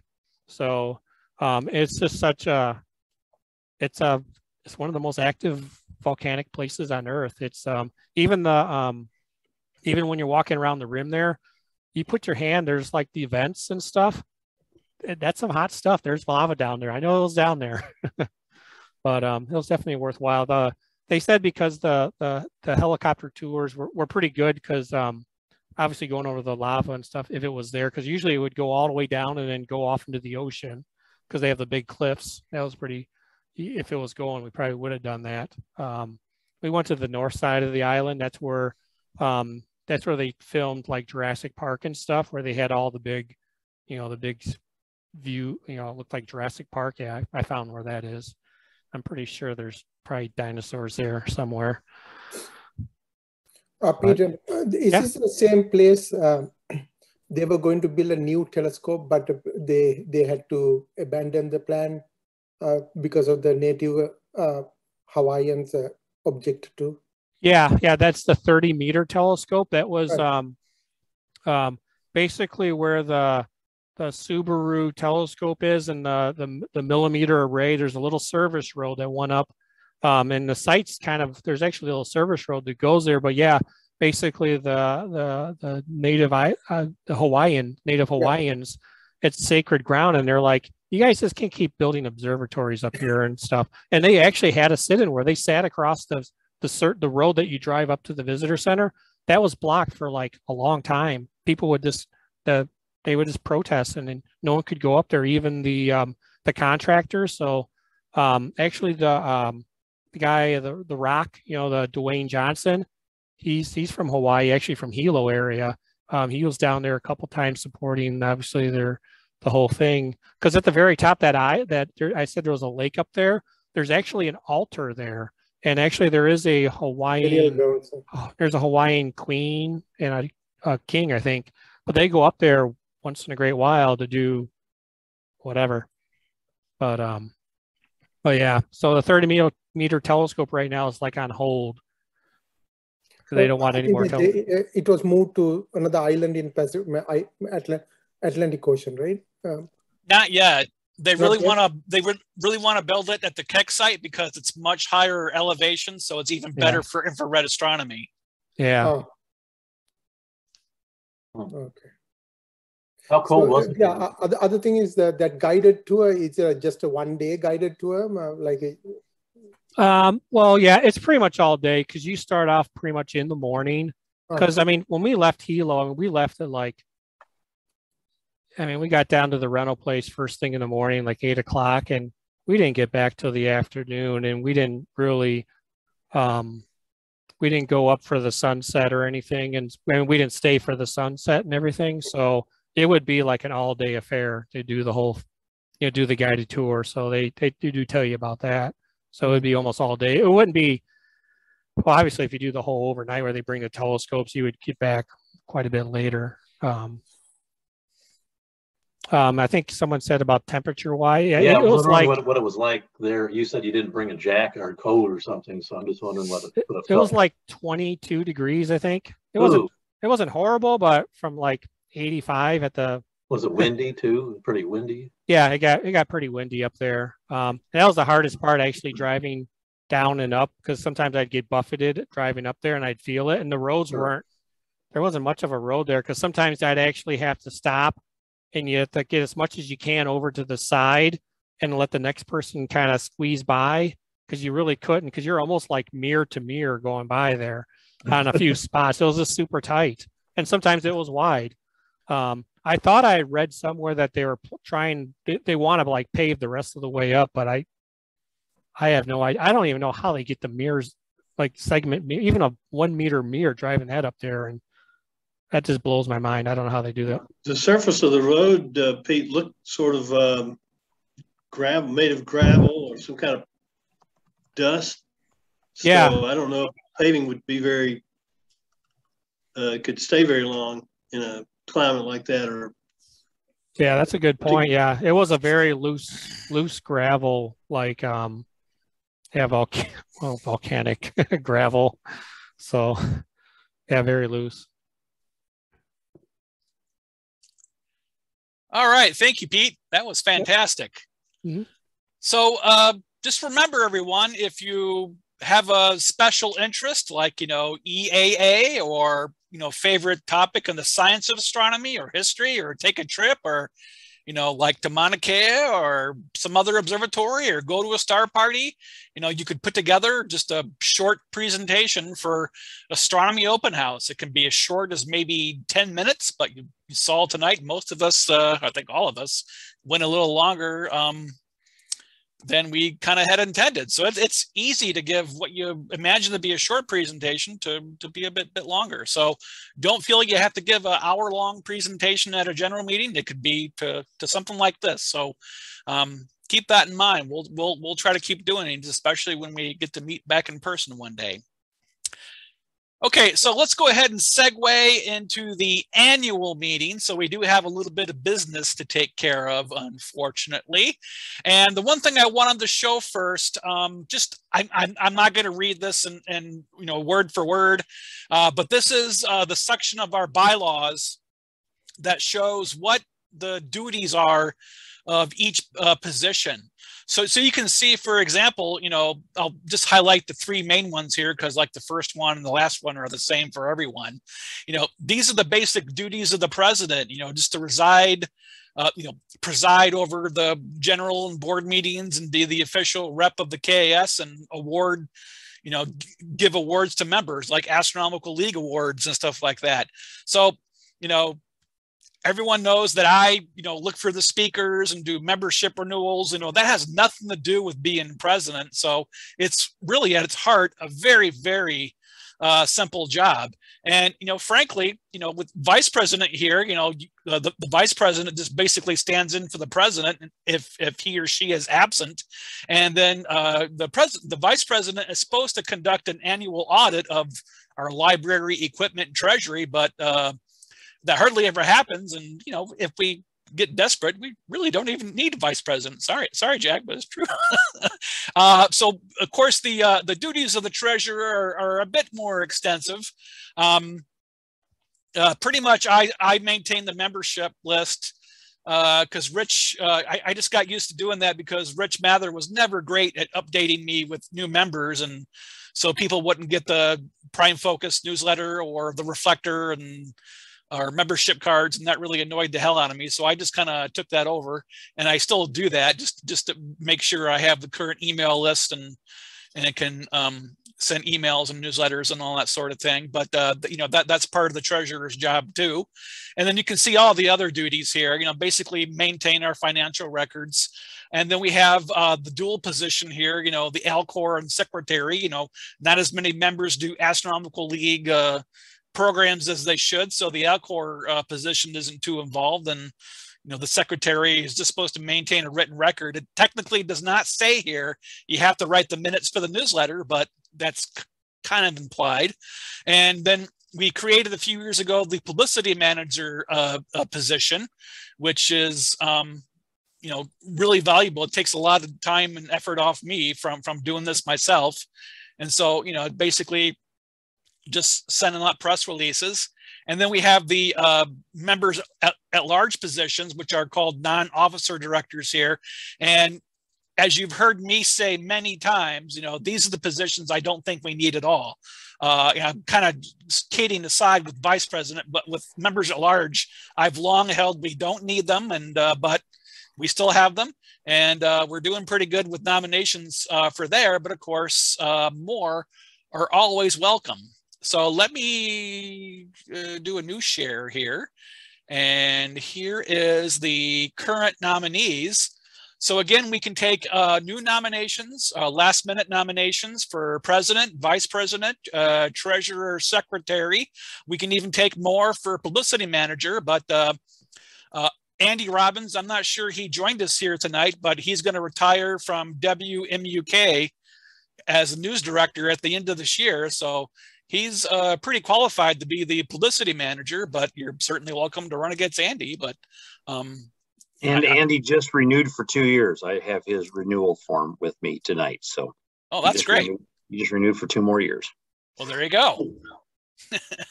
so, so we can take nominations for any of these positions uh, right now. And of course, we only have four member at large positions, but we have seven nominees. And uh, so, but just remember, if you're one of the three, you know, that does not get a position on the board, you know, who, who freaking cares? Uh, there, there, there, there's plenty of other ways you can help. You know, we have committees that have kind of started and stalled over the years. There, there's plenty of other things you can do uh, to to help the Kalamazoo Astronomical Society. So, you know, do not take it personally if you if you don't make it as a member at large. So, do we have any nominations for any of these positions?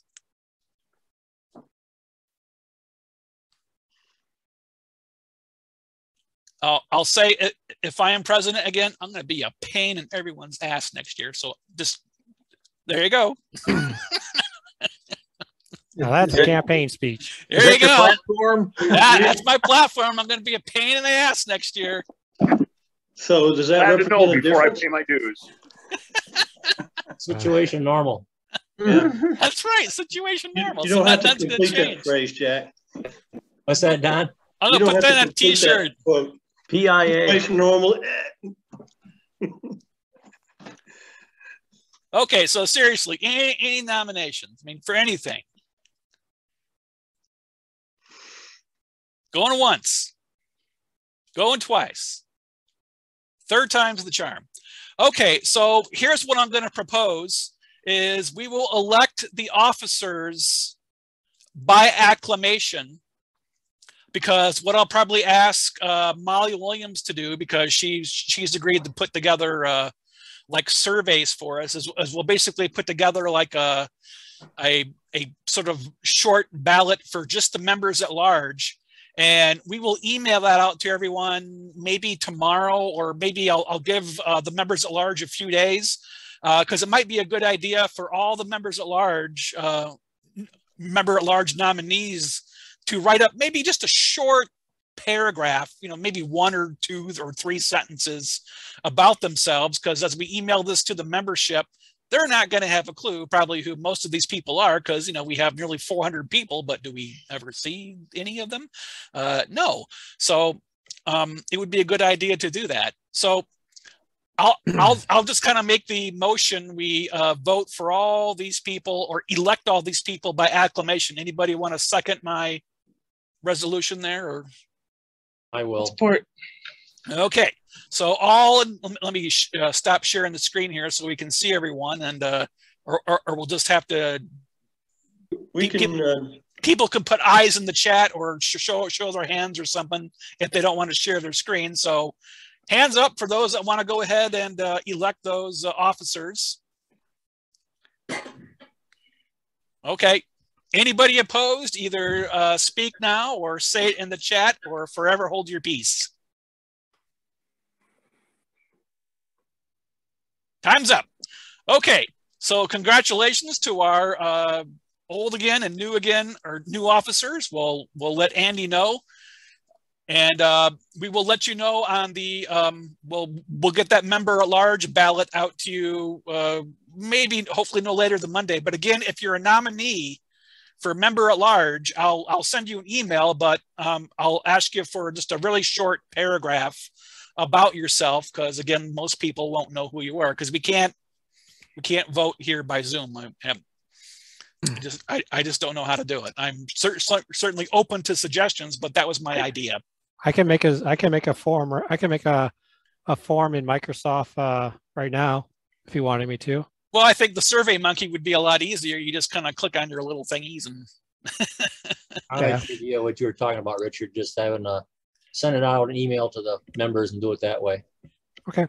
Yeah just a little it'll, it'll, it'll be like an email link uh, you know to, to the or a link in an email to the survey thing and you just Mhm. click on the four people you want and then there we go Okay. Uh, you leave the election open for uh, 24 hours after you send it or something like that. Oh yeah, it'll definitely be open for probably at least yeah, at least 24 hours. And in the bylaws, uh, I guess we must have uh, some language in there about uh, how we conduct elections, and I'm, I'm assuming it must say, you know, virtual is okay, or if it's if it's not, maybe we need to make that change in our bylaws. Yeah, we're yeah we're kind of changing things on the fly here, but uh, it's it's the best we can do given right, right uh, with, with resources we have. A person anymore, right? Yeah. It just says annually at our meeting, and it doesn't define what that is. So I think Yeah. Yeah, I, I, I, as I recall, yeah, it's, it's very vague. So that's that's why Becky was very good on that. She she, she made it very vague, so it, so it's very flexible. Thank you, Becky, because she definitely helped with that part. Okay, so we'll move on from the annual meeting. See, that wasn't so bad. and we'll do the uh, uh, president's report here. I, I believe is next. Um, so I, I just wanted to mention again the introduction to amateur astronomy uh, lecture series returns on January 15th. We just crossed uh, 200 registrations today, uh, but I but I wanted to mention I'm kind of disappointed by the number of KAS members that have registered. I've mentioned it a couple of times by email and really gotten next to zero response uh, from the membership. So I'm hoping you renew or, or not renew, but register, uh, you know, soon. You, you can do it toward, you know, the to- toward the start of the lecture, but it's good to do it a little more in advance. This isn't the kind of thing you can really register for at the last second. You know, people did that and it, it, it can be difficult to get in. Um, Well, most of us took the class, you know. Right, right, already. but there are 400 people in the club so there's plenty of other people that haven't taken it yet so yeah that that that doesn't hold water. Um, so there's plenty of new people that Can haven't, audit it out? ha- ha- haven't taken it yet. Haven't what? Can I audit the class to- and not show up? no. Well, there's so much for me helping you do Q and A's during them too. So. Well that, that that's different. So that, that's what i wanted to mention next is i'm still looking for volunteers to um, uh, answer questions in the q&a I'll, I'll probably be contacting specific people here soon for at least part one because you know, part part one's kind of the more technical one. Um, you know tour of the solar system deep sky objects and stuff like that. So it, it kind of helps know the basics of astronomy. So i'll be contacting people i think we'll cover that pretty well. Maybe we can have one member do the first hour somebody do the second hour so it doesn't maybe take up a good chunk of your afternoon. And i do also need someone to monitor the chat for me and maybe answer uh, the more basic questions in the chat and uh, you know uh, publish uh, links in the chat like the link to sign in so you get your certificate of completion if you attend all five. So i, I definitely would like a, a little additional help this time and, and, and get members involved. And I will send out another email to uh, clubs around the country and world, you know, at least Canada and the UK, uh, about two weeks before, because the last time I did that, that's when the registrations really came in. I mean, hundreds and hundreds and hundreds, and I was like overwhelmed. So I, I will try to do that again, but we'll we'll see what happens. I did want to give a quick update on the membership status. You did see the uh, largest membership list ever in the last or the latest newsletter. And we did pick up one new member today for 262 memberships, which just blows me away. It was actually a gentleman from New Jersey. Uh, so, so that's pretty remarkable. I think, I think he may be our only member from New Jersey. And I, I meant to send out uh, the second uh, renewal email earlier this week, but I got my COVID booster on Monday. And even though I had no ill effects from the first two vaccines, uh, Tuesday, I felt really tired and I got the shivers like crazy and just felt really, really cold. So uh, I was not doing too well on Tuesday. Plus, for the past two weeks, I've been having ear trouble again. I had I basically started to come down with an ear infection, so I'm recovering from that too. One of our old members, Dave Brown, who's who's a doctor at the West Side Medical Center, gave me you know checked me out and gave me my medication. So it was good to see Dave Brown again. For those of you that remember uh, him.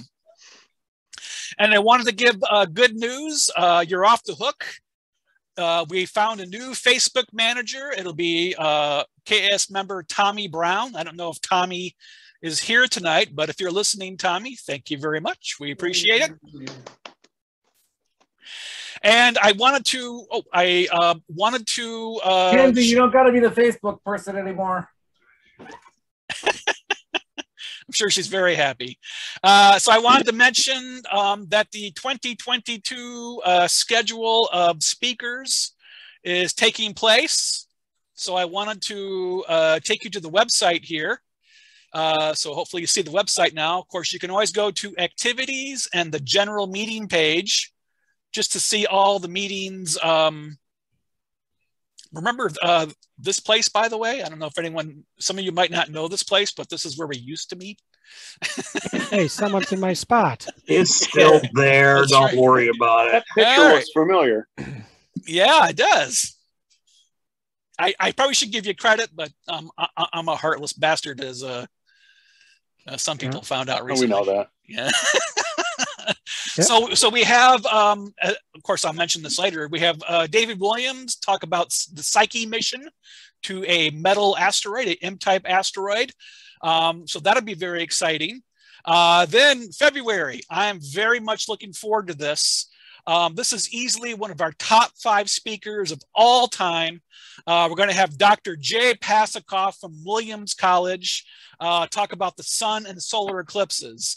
You might know, you know, Fred Espenak is Mr. Eclipse. That's he, he probably gave himself that nickname. But uh, Dr. Jay Pasachoff is the true Mr. Eclipse. He's been to 73 solar eclipses, more than anyone that I've ever heard of. They're not all total, of course, but he's been to tons of them. And I don't know if he's going to Antarctica, but uh, he'll be talking about. He'd you know, be there now. he could be there now yeah so he'll, he'll be talking about um, all the eclipses he's been to and he'll uh, get us started on our uh, uh, uh, countdown to 2024 i'm still working on somebody for march i, I had a speaker in mind but uh, they haven't i've actually had uh, a couple in mind but they keep ignoring me so um, I- i'm being ghosted by some people and then we have uh, Dr. Melissa Trainer, who's going to talk about the Dragonfly mission to uh, Titan. So that'll be very exciting. Um, I think it's locked in. I haven't got a, a confirmation, uh, but uh, in May, we're going to have an extremely super duper mega guest speaker. We're going to have none other than the famed cosmologist, Alex Filippenko, be our guest speaker. And um, the the board was talking about this recently, and of course, a- a- as I quickly discovered, they they really had no idea who is who, who he was. So, uh, Sinclair, do me a favor, tell him who Alex Filippenko Hey, I know who he is. Yeah, does he have a? Benko does he is have a- one of the leading scientists in astronomy. He has been on, you know, you name it. He's been on Nova. He's been linked into programs on the universe, the, the History Channel. Um, he's, I, I say he's, in many respects, as far as the science is concerned, he's above Neil deGrasse Tyson. Tyson's more the face of cosmology, but I really think that Alex Filippenko is absolutely stunning. He knows more about supernovas, I think, than almost anybody, except for a handful of people who just literally do these all the time. Uh, he is incredibly excited, enthusiastic about his presentations. He's wonderful.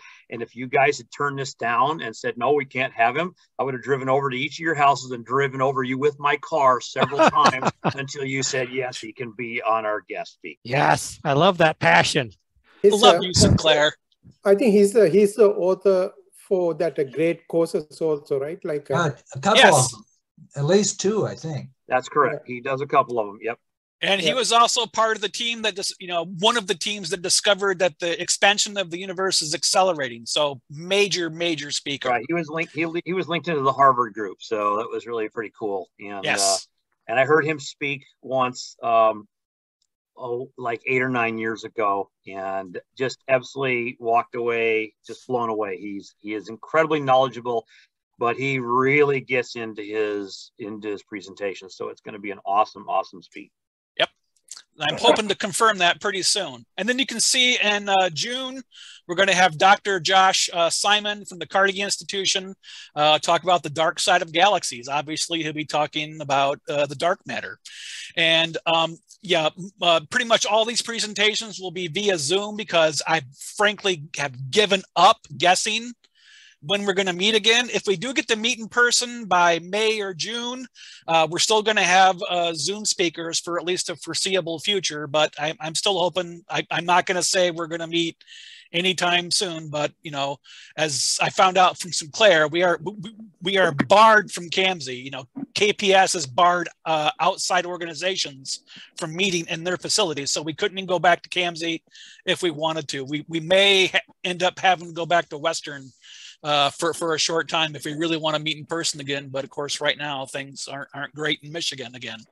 Mike, is, is that uh, like for the foreseeable future, like permanent, even um, the, the last discussion I have I've had with our director, and then what I gather from administration, we are under a mask mandate until the right. end of the second trimester, which is the middle of right. March. Um, mm-hmm.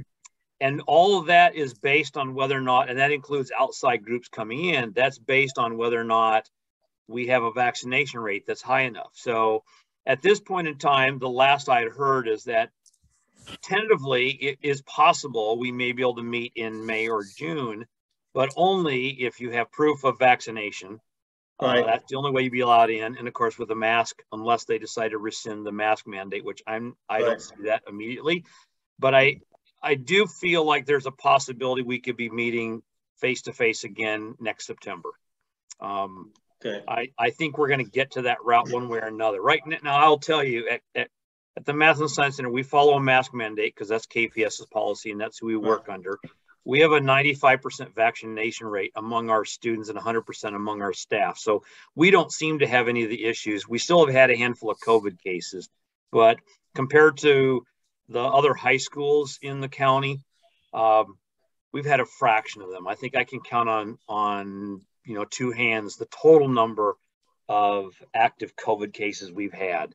So, uh, you know, I'm not overly concerned about it. I, I have face to face with my students every day. It's not an issue, but I, I do know why KPS is keeping people out of our facility for now.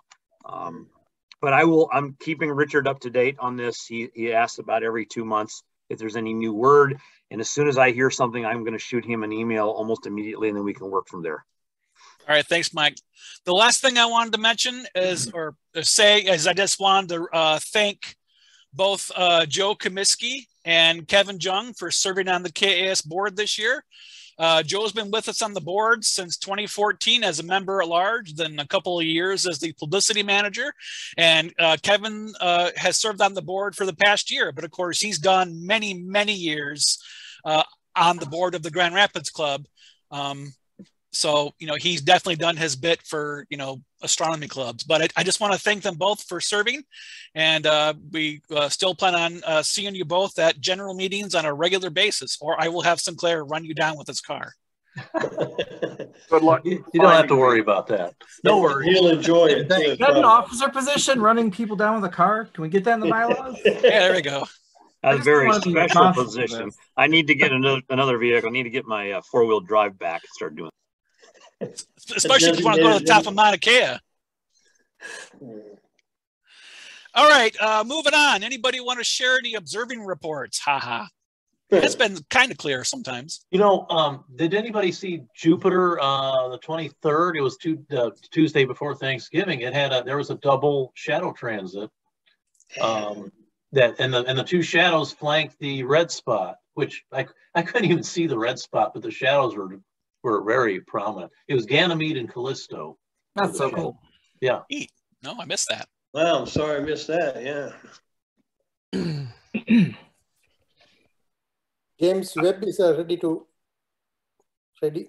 Remember, we're doing observing reports, Arya, so don't don't jump ahead. we, we have an agenda we're sticking to here, people. Any more observing reports? You know, looking with your eyes into the yeah. sky. I saw, been... I saw, Orion for the first time this season. Last night, the night before, wasn't much. It's been good seeing some of the really like Arcturus in the morning when I leave for work. It's. I know it's only December, but hey, there's you know hope that spring's coming. Yeah. Um, Gus, Gus has been working I on his uh, Star uh, Puppy. Go ahead. I tried to look for the comet, uh, but didn't see it two days ago. Uh, my son Gus has been working on his uh, Sky Puppy, but unfortunately it expires on his birthday uh, in February. Um, so we went out to Richland Park, even though it was slightly cloudy. Uh, but with binoculars, we were able to see the Pleiades just fine, and we were able to see uh, Andromeda Galaxy. And after watching the Nova on Andromeda, um, it was a nice viewing, even though it was slightly cl- clouded over. There's But- a Nova in An- Andromeda. There's a Nova. Yeah, yes. I'm just kidding. Um, That'd be huge news. when we get to uh yeah the next section if you could move on please i could tell you the next part Well, see. I, I I I wanted to mention, of course. I, I'm guessing nobody saw the uh, uh, deep partial lunar eclipse, or I'm, I'm guessing. Clouds. Yeah, it was it was cloudy.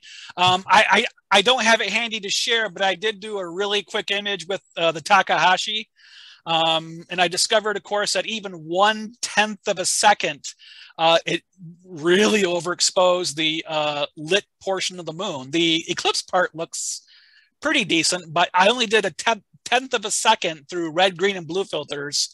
Uh, you know, one image each, and um, you can go back in our Twitter history and you can see the image on uh, there. I, I just wanted to mention that if, if, if no one saw that, I did share it during the SIG meeting, uh, but I, I but I don't have it handy to share here. And I I was hoping Henry would uh, would have captured images of uh, Comet Leonard going by M3 this morning, but I, I checked the uh, the cloud uh, account and it doesn't look like he captured any images. He must have he must have fell asleep and forgot to set his alarm or something. According to the NASA website, they'll be streaming live from Antarctica this morning. And it's the stream is going to come from the J.M. Pasachoff Antarctic expedition. Oh, there we go. That's not uh, the one I took of the last partial. It's it's on um, it's on the Twitter page. It's not on uh, Instagram. Sorry, Pete. Oh. okay, I'll be back. I can't tell Uh, which mouse is mine. I see your cursor, my cursor.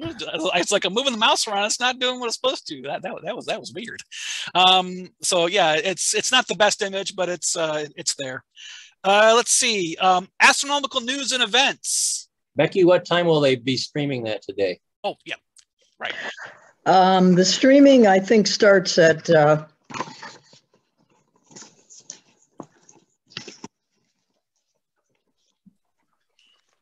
one thirty a.m.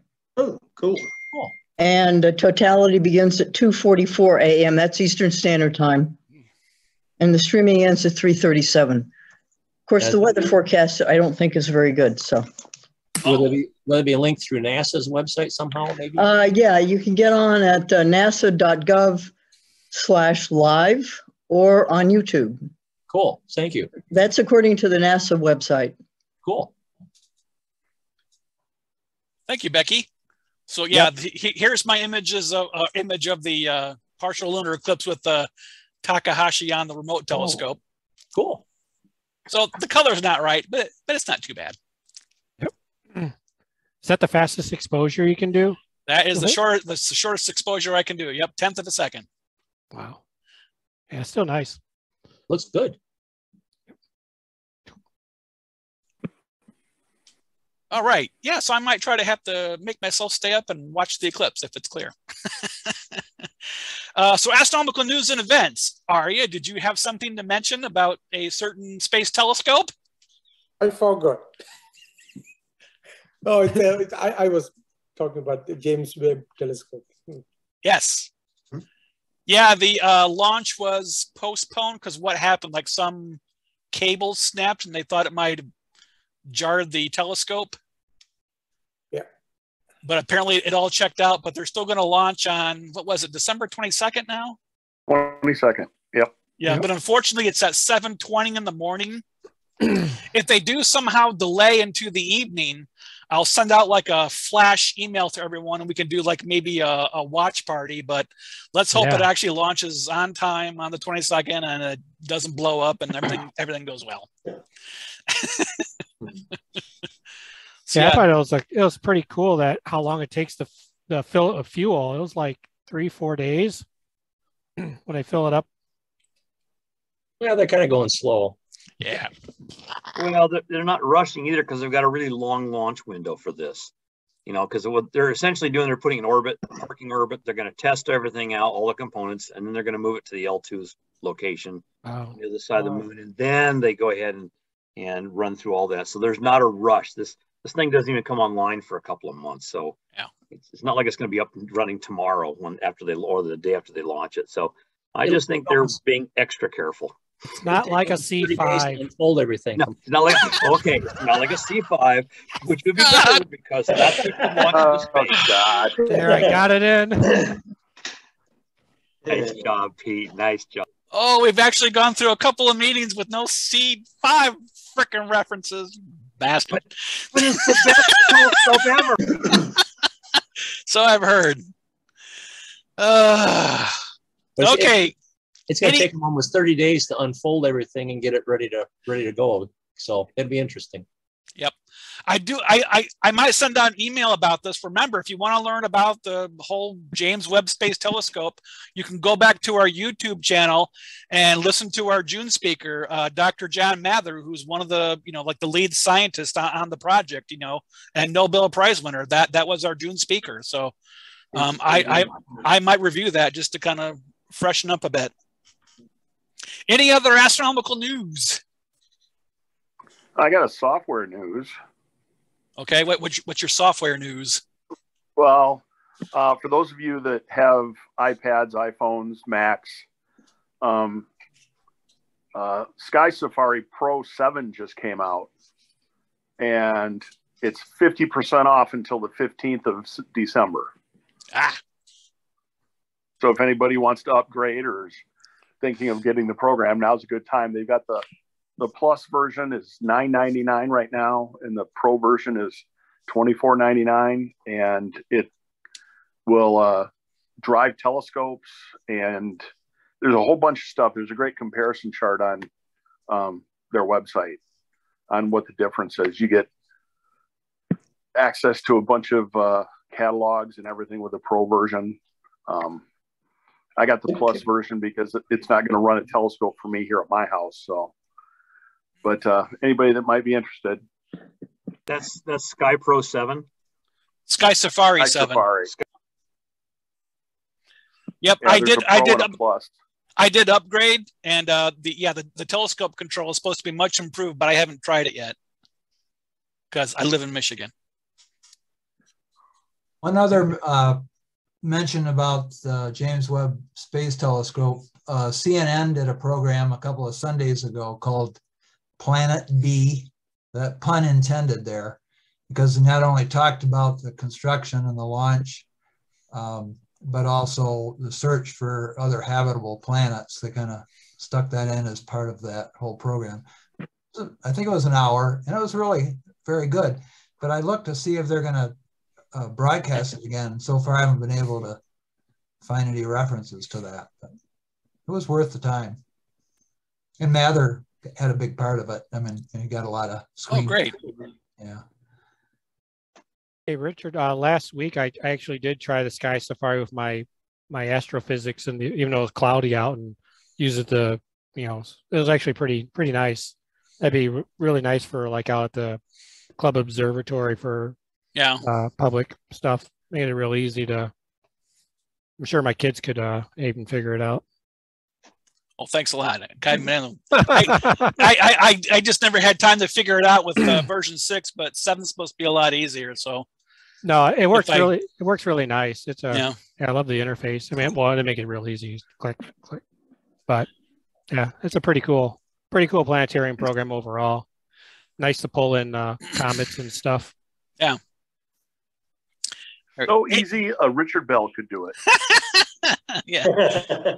just just as long as I get money for for people saying that, that's fine. So Kevin, send me send me a nickel. Any other news? Anybody wanted to share? How about the uh, DART mission? You know, what could go wrong? Boom, hits Earth, and we're all dead. Oh, Is, is that to deflect the uh, asteroid thing? Yeah, they're, they're going to try to knock a little asteroid out of its orbit just to see if, see, see if they can do it. And I hope they don't push it the wrong way. That's what. I I, I, I think it'd be. Armageddon. Armageddon. That's right. All Bruce Willis.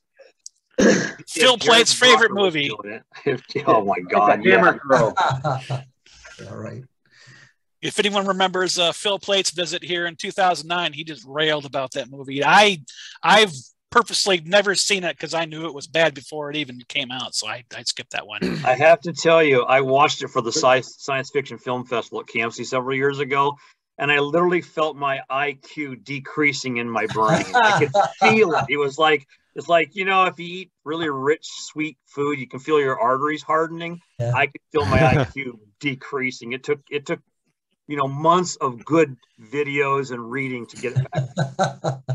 For those interested, there's actually a British uh, astrophysicist lady who actually reviews sci-fi shows and movies for the scientific aspect of it.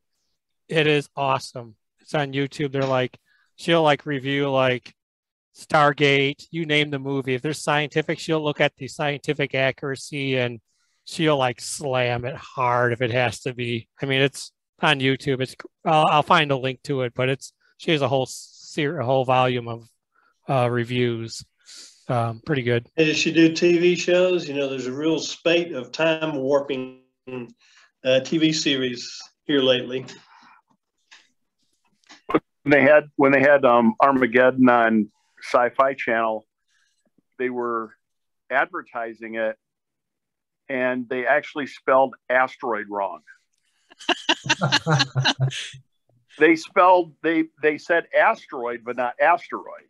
An astroid is actually a word; it's a mathematical term. But not only did they do that, but when they used a screen capture from one from the movie, they flipped it inverted so the MetLife building said Effeltem. I actually I took a picture of it on my TV. I don't have the I don't have that picture on my iPad right now, or I'd share it. But it was hilarious. So I sent it to a friend of mine in Hollywood, and he knows people that worked at at uh, Sci-Fi Channel. He said he just they just like ragged on them so bad. Yeah, I just pasted a link. Um, this is actually she's reviewing the crashing things in the asteroids, like, but she's kind of reviewing the DART mission, but she also kind of goes into, like you say, TV shows, movies. What is? Dr. Becky. Okay. Anyway, Okay. sorry. Dr. Dr. Becky. Becky. Her So stuff is good. Beauty only for uh, astronomy, huh? All right, it seems we've run out of astronomical news, so let me zip through the rest, rest of the agenda here. I just wanted to mention some upcoming events. We have um, online viewing session tomorrow, um, but I I might have to uh, whoop, let me mute Kevin here. He's watching the video already, I think.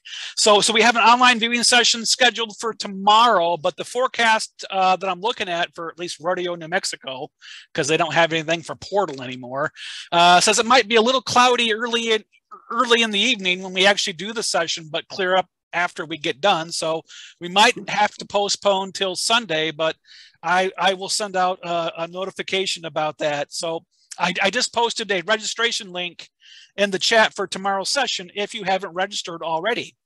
And Is we do have, yeah, Is that open to the public? it is. They they're all open to the public, every one of them. Uh, we have a observing SIG session at Richland Township Park on Saturday, December 11th at 7:30 p.m. Uh, from the way the weather looks, the parking lot uh, should be safe to drive in, Aaron. So I think you'll you guys will be good go, and nobody will fall and break a hip or anything. It was solid, slushy, nasty, gushy awesomeness when we were out there a couple days ago. So hopefully that clears up. Yep. I think we'll be good. And then we have our last event of the year, um, unless we do a impromptu web uh, party. We have an astrophotography SIG meeting uh, on Zoom, unfortunately, on Friday, December 17th at 8 o'clock. Uh, Pete, you want to give us a preview? Yeah, um, I'm going to be going over um, uh, imaging automation. Uh, the software package is called Sequence Generator Pro. Uh, it's pretty uh, popular package out there. I'm going to cover like what it takes to actually get it so you can actually start up and let the telescope collect images all night long doing autofocusing, go to an object, you know, plate solve, auto, you know, center it up for you or go from object to object. So I'm just going to cover the basics of what you need to do to get the software configured to go do it all for you. You can sit there and watch it. I'll do that. Or if you want to go from night to night, you know, that kind of stuff. Um, but it's going to be a hopefully a, a informative uh, discussion. There's a lot of little pitfalls that people um, get tripped up on with the software, whether it's uh, interfacing it with the AutoGuider software PHD2 or how to get the autofocuser working, blah, blah, blah, all that stuff. Great. Thanks, Pete. Yep. And don't forget to publish uh, something about it on the uh, Sequence Generator Pro website, uh, you know, on the forum. So, oh maybe yeah, maybe right. get some people yep. here. Yeah. Um, Prime Focus, uh, of course, I'll, I'll, just mention the usual deadline is the 15th of every month.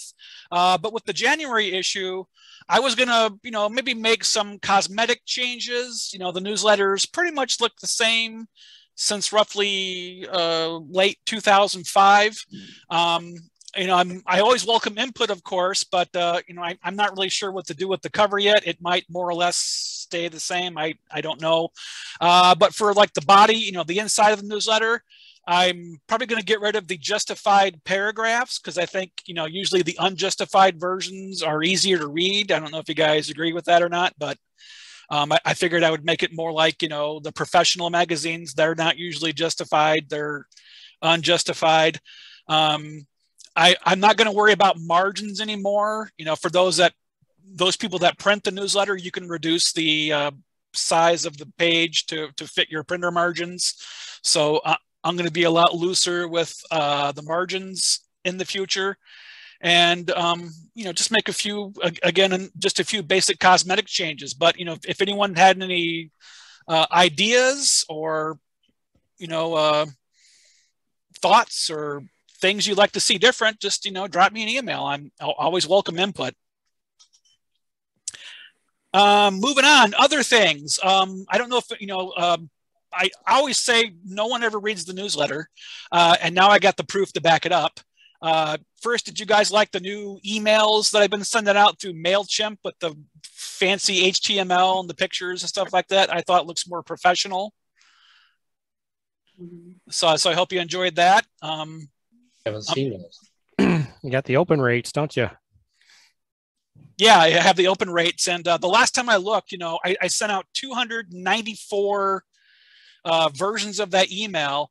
And the last time I looked at the uh, results, uh, 98 people actually clicked on the newsletter link. So that hurts, you know, that, that really, really hurts that a lot of people just aren't looking at the newsletter that I take, you know, so much time to put together. So that might affect the redesign too. It might be a bit smaller here in the future because I'm one of those who clicked on it. Don't shake your head okay. I, I, I had it here in my hot little hand. I'm sure everyone here read I it, clicked but on it. It's it's those we people that we just never get to see. Unfortunately, they they need to look at it. It's in my hot uh, hand, Richard, right here. I see it. I, think see maybe it. Mike Mike Sinclair needs to uh, get his car revved up. Maybe. Oh. and run Jack over. I agree. Just go ahead and run Jack over, Mike. That's fine. Rich, just send me the list. Was that his Jeep with a cow catcher on it?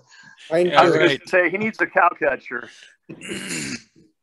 okay, so um, other the, the, other thing I wanted to mention with the newsletter is I don't know if anyone read my column on gift ideas. Of course, there's the I'll just kind of rehash it real fast. There, there's the Sky Shop. There's our clothing store.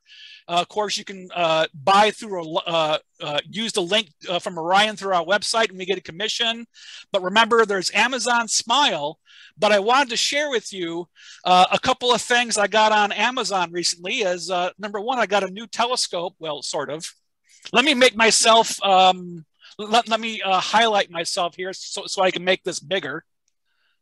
So here's my new telescope.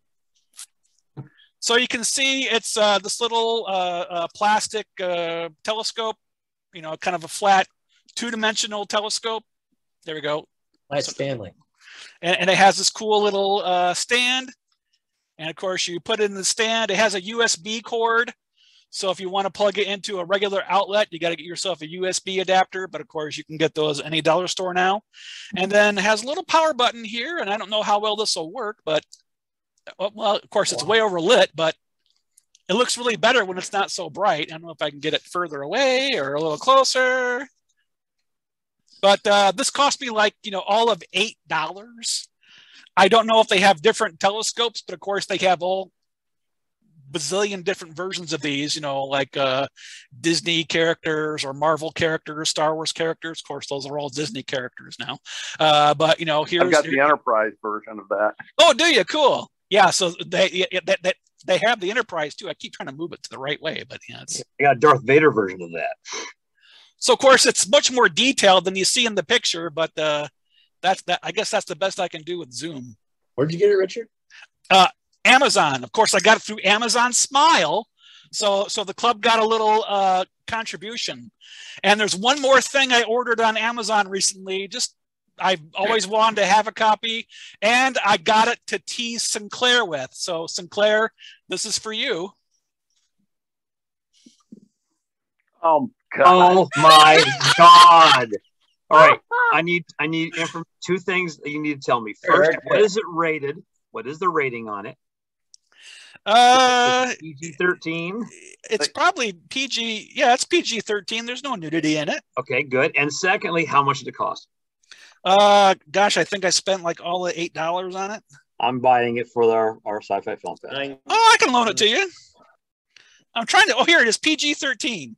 Perfect. Exactly. That's it. All right. So if Now you've never can if, if you've never seen this, it's like the ultimate 80s B movie. You know, a, a comet comes by Earth, wipes out life, it turns people into red dust. But of course, if you're inside like a proper steel container, you survive. And these people have to fight, you know, people that got a slight exposure that are basically zombies. So it, it, it's mm-hmm. basically more of a zombie horror movie, but it's really a, a cheesy 80s movie that's a lot of fun. And I, I saw it in the theaters and just thought it was corny, but loved it. It's, it's good corny.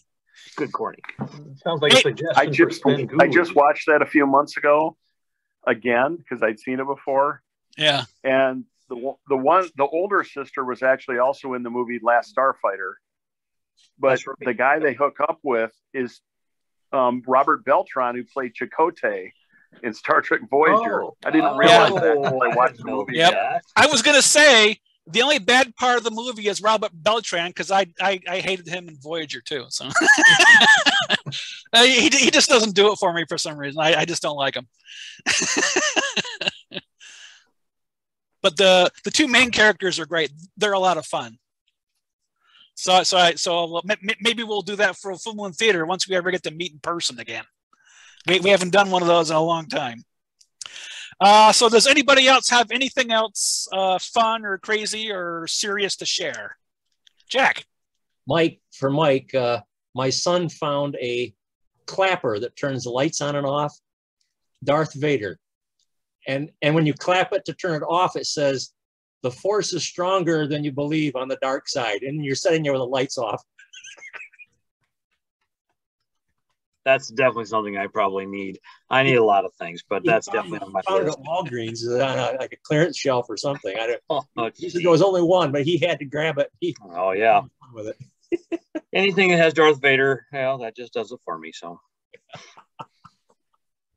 Uh, Muhammad. I believe it is a movie by name Omicron that was uh, from 1963. It's about aliens that come in uh, to Earth and then um, I guess they take over the race. Sounds like your typical uh, alien movie. Don't pronounce it Omicron though. Omicron, yeah. Yeah. If anybody hasn't seen it, seen it, the live action Cowboy Bebop on Netflix is pretty good. It's a kind of a 70s film noir uh, thing, but they, they spend a lot of time set, traveling between like Ganymede and Europa and Mars. Um, there's, you know, the, the famous Ganymede endangered sea rats. Um, but they do a good job of uh, world building and um, character building. Yeah, kind of like The Expanse. No, that that was a great series. Um, I don't know if they're even going to make another season. They kind of leaned into not having it, not finishing it up, but who knows? So I don't know. Looking forward to seeing part two of Dune. That's all I'm waiting for. All right, we'll skip uh, election results because uh, we'll have to wait for that. And then, of course, as mentioned, uh, the January meeting will have Dr. David Williams, who's from uh, Arizona State University, Tempe, and a co-investigator of the Psyche mission. He'll be talking about the Psyche mission, Psyche Journey to a Metal World. So our first visit to a M-type asteroid is supposed to launch, uh, I think, late this winter or at least early spring. So it'll be uh, uh, breaking uh, news here uh, come January. So um, course, you can get on the website now and register for that now, but I'll, I'll definitely give you registration links uh, um, quite a bit in the weeks ahead. So without further ado, we will go ahead and officially adjourn the meeting. So uh, thanks for joining us.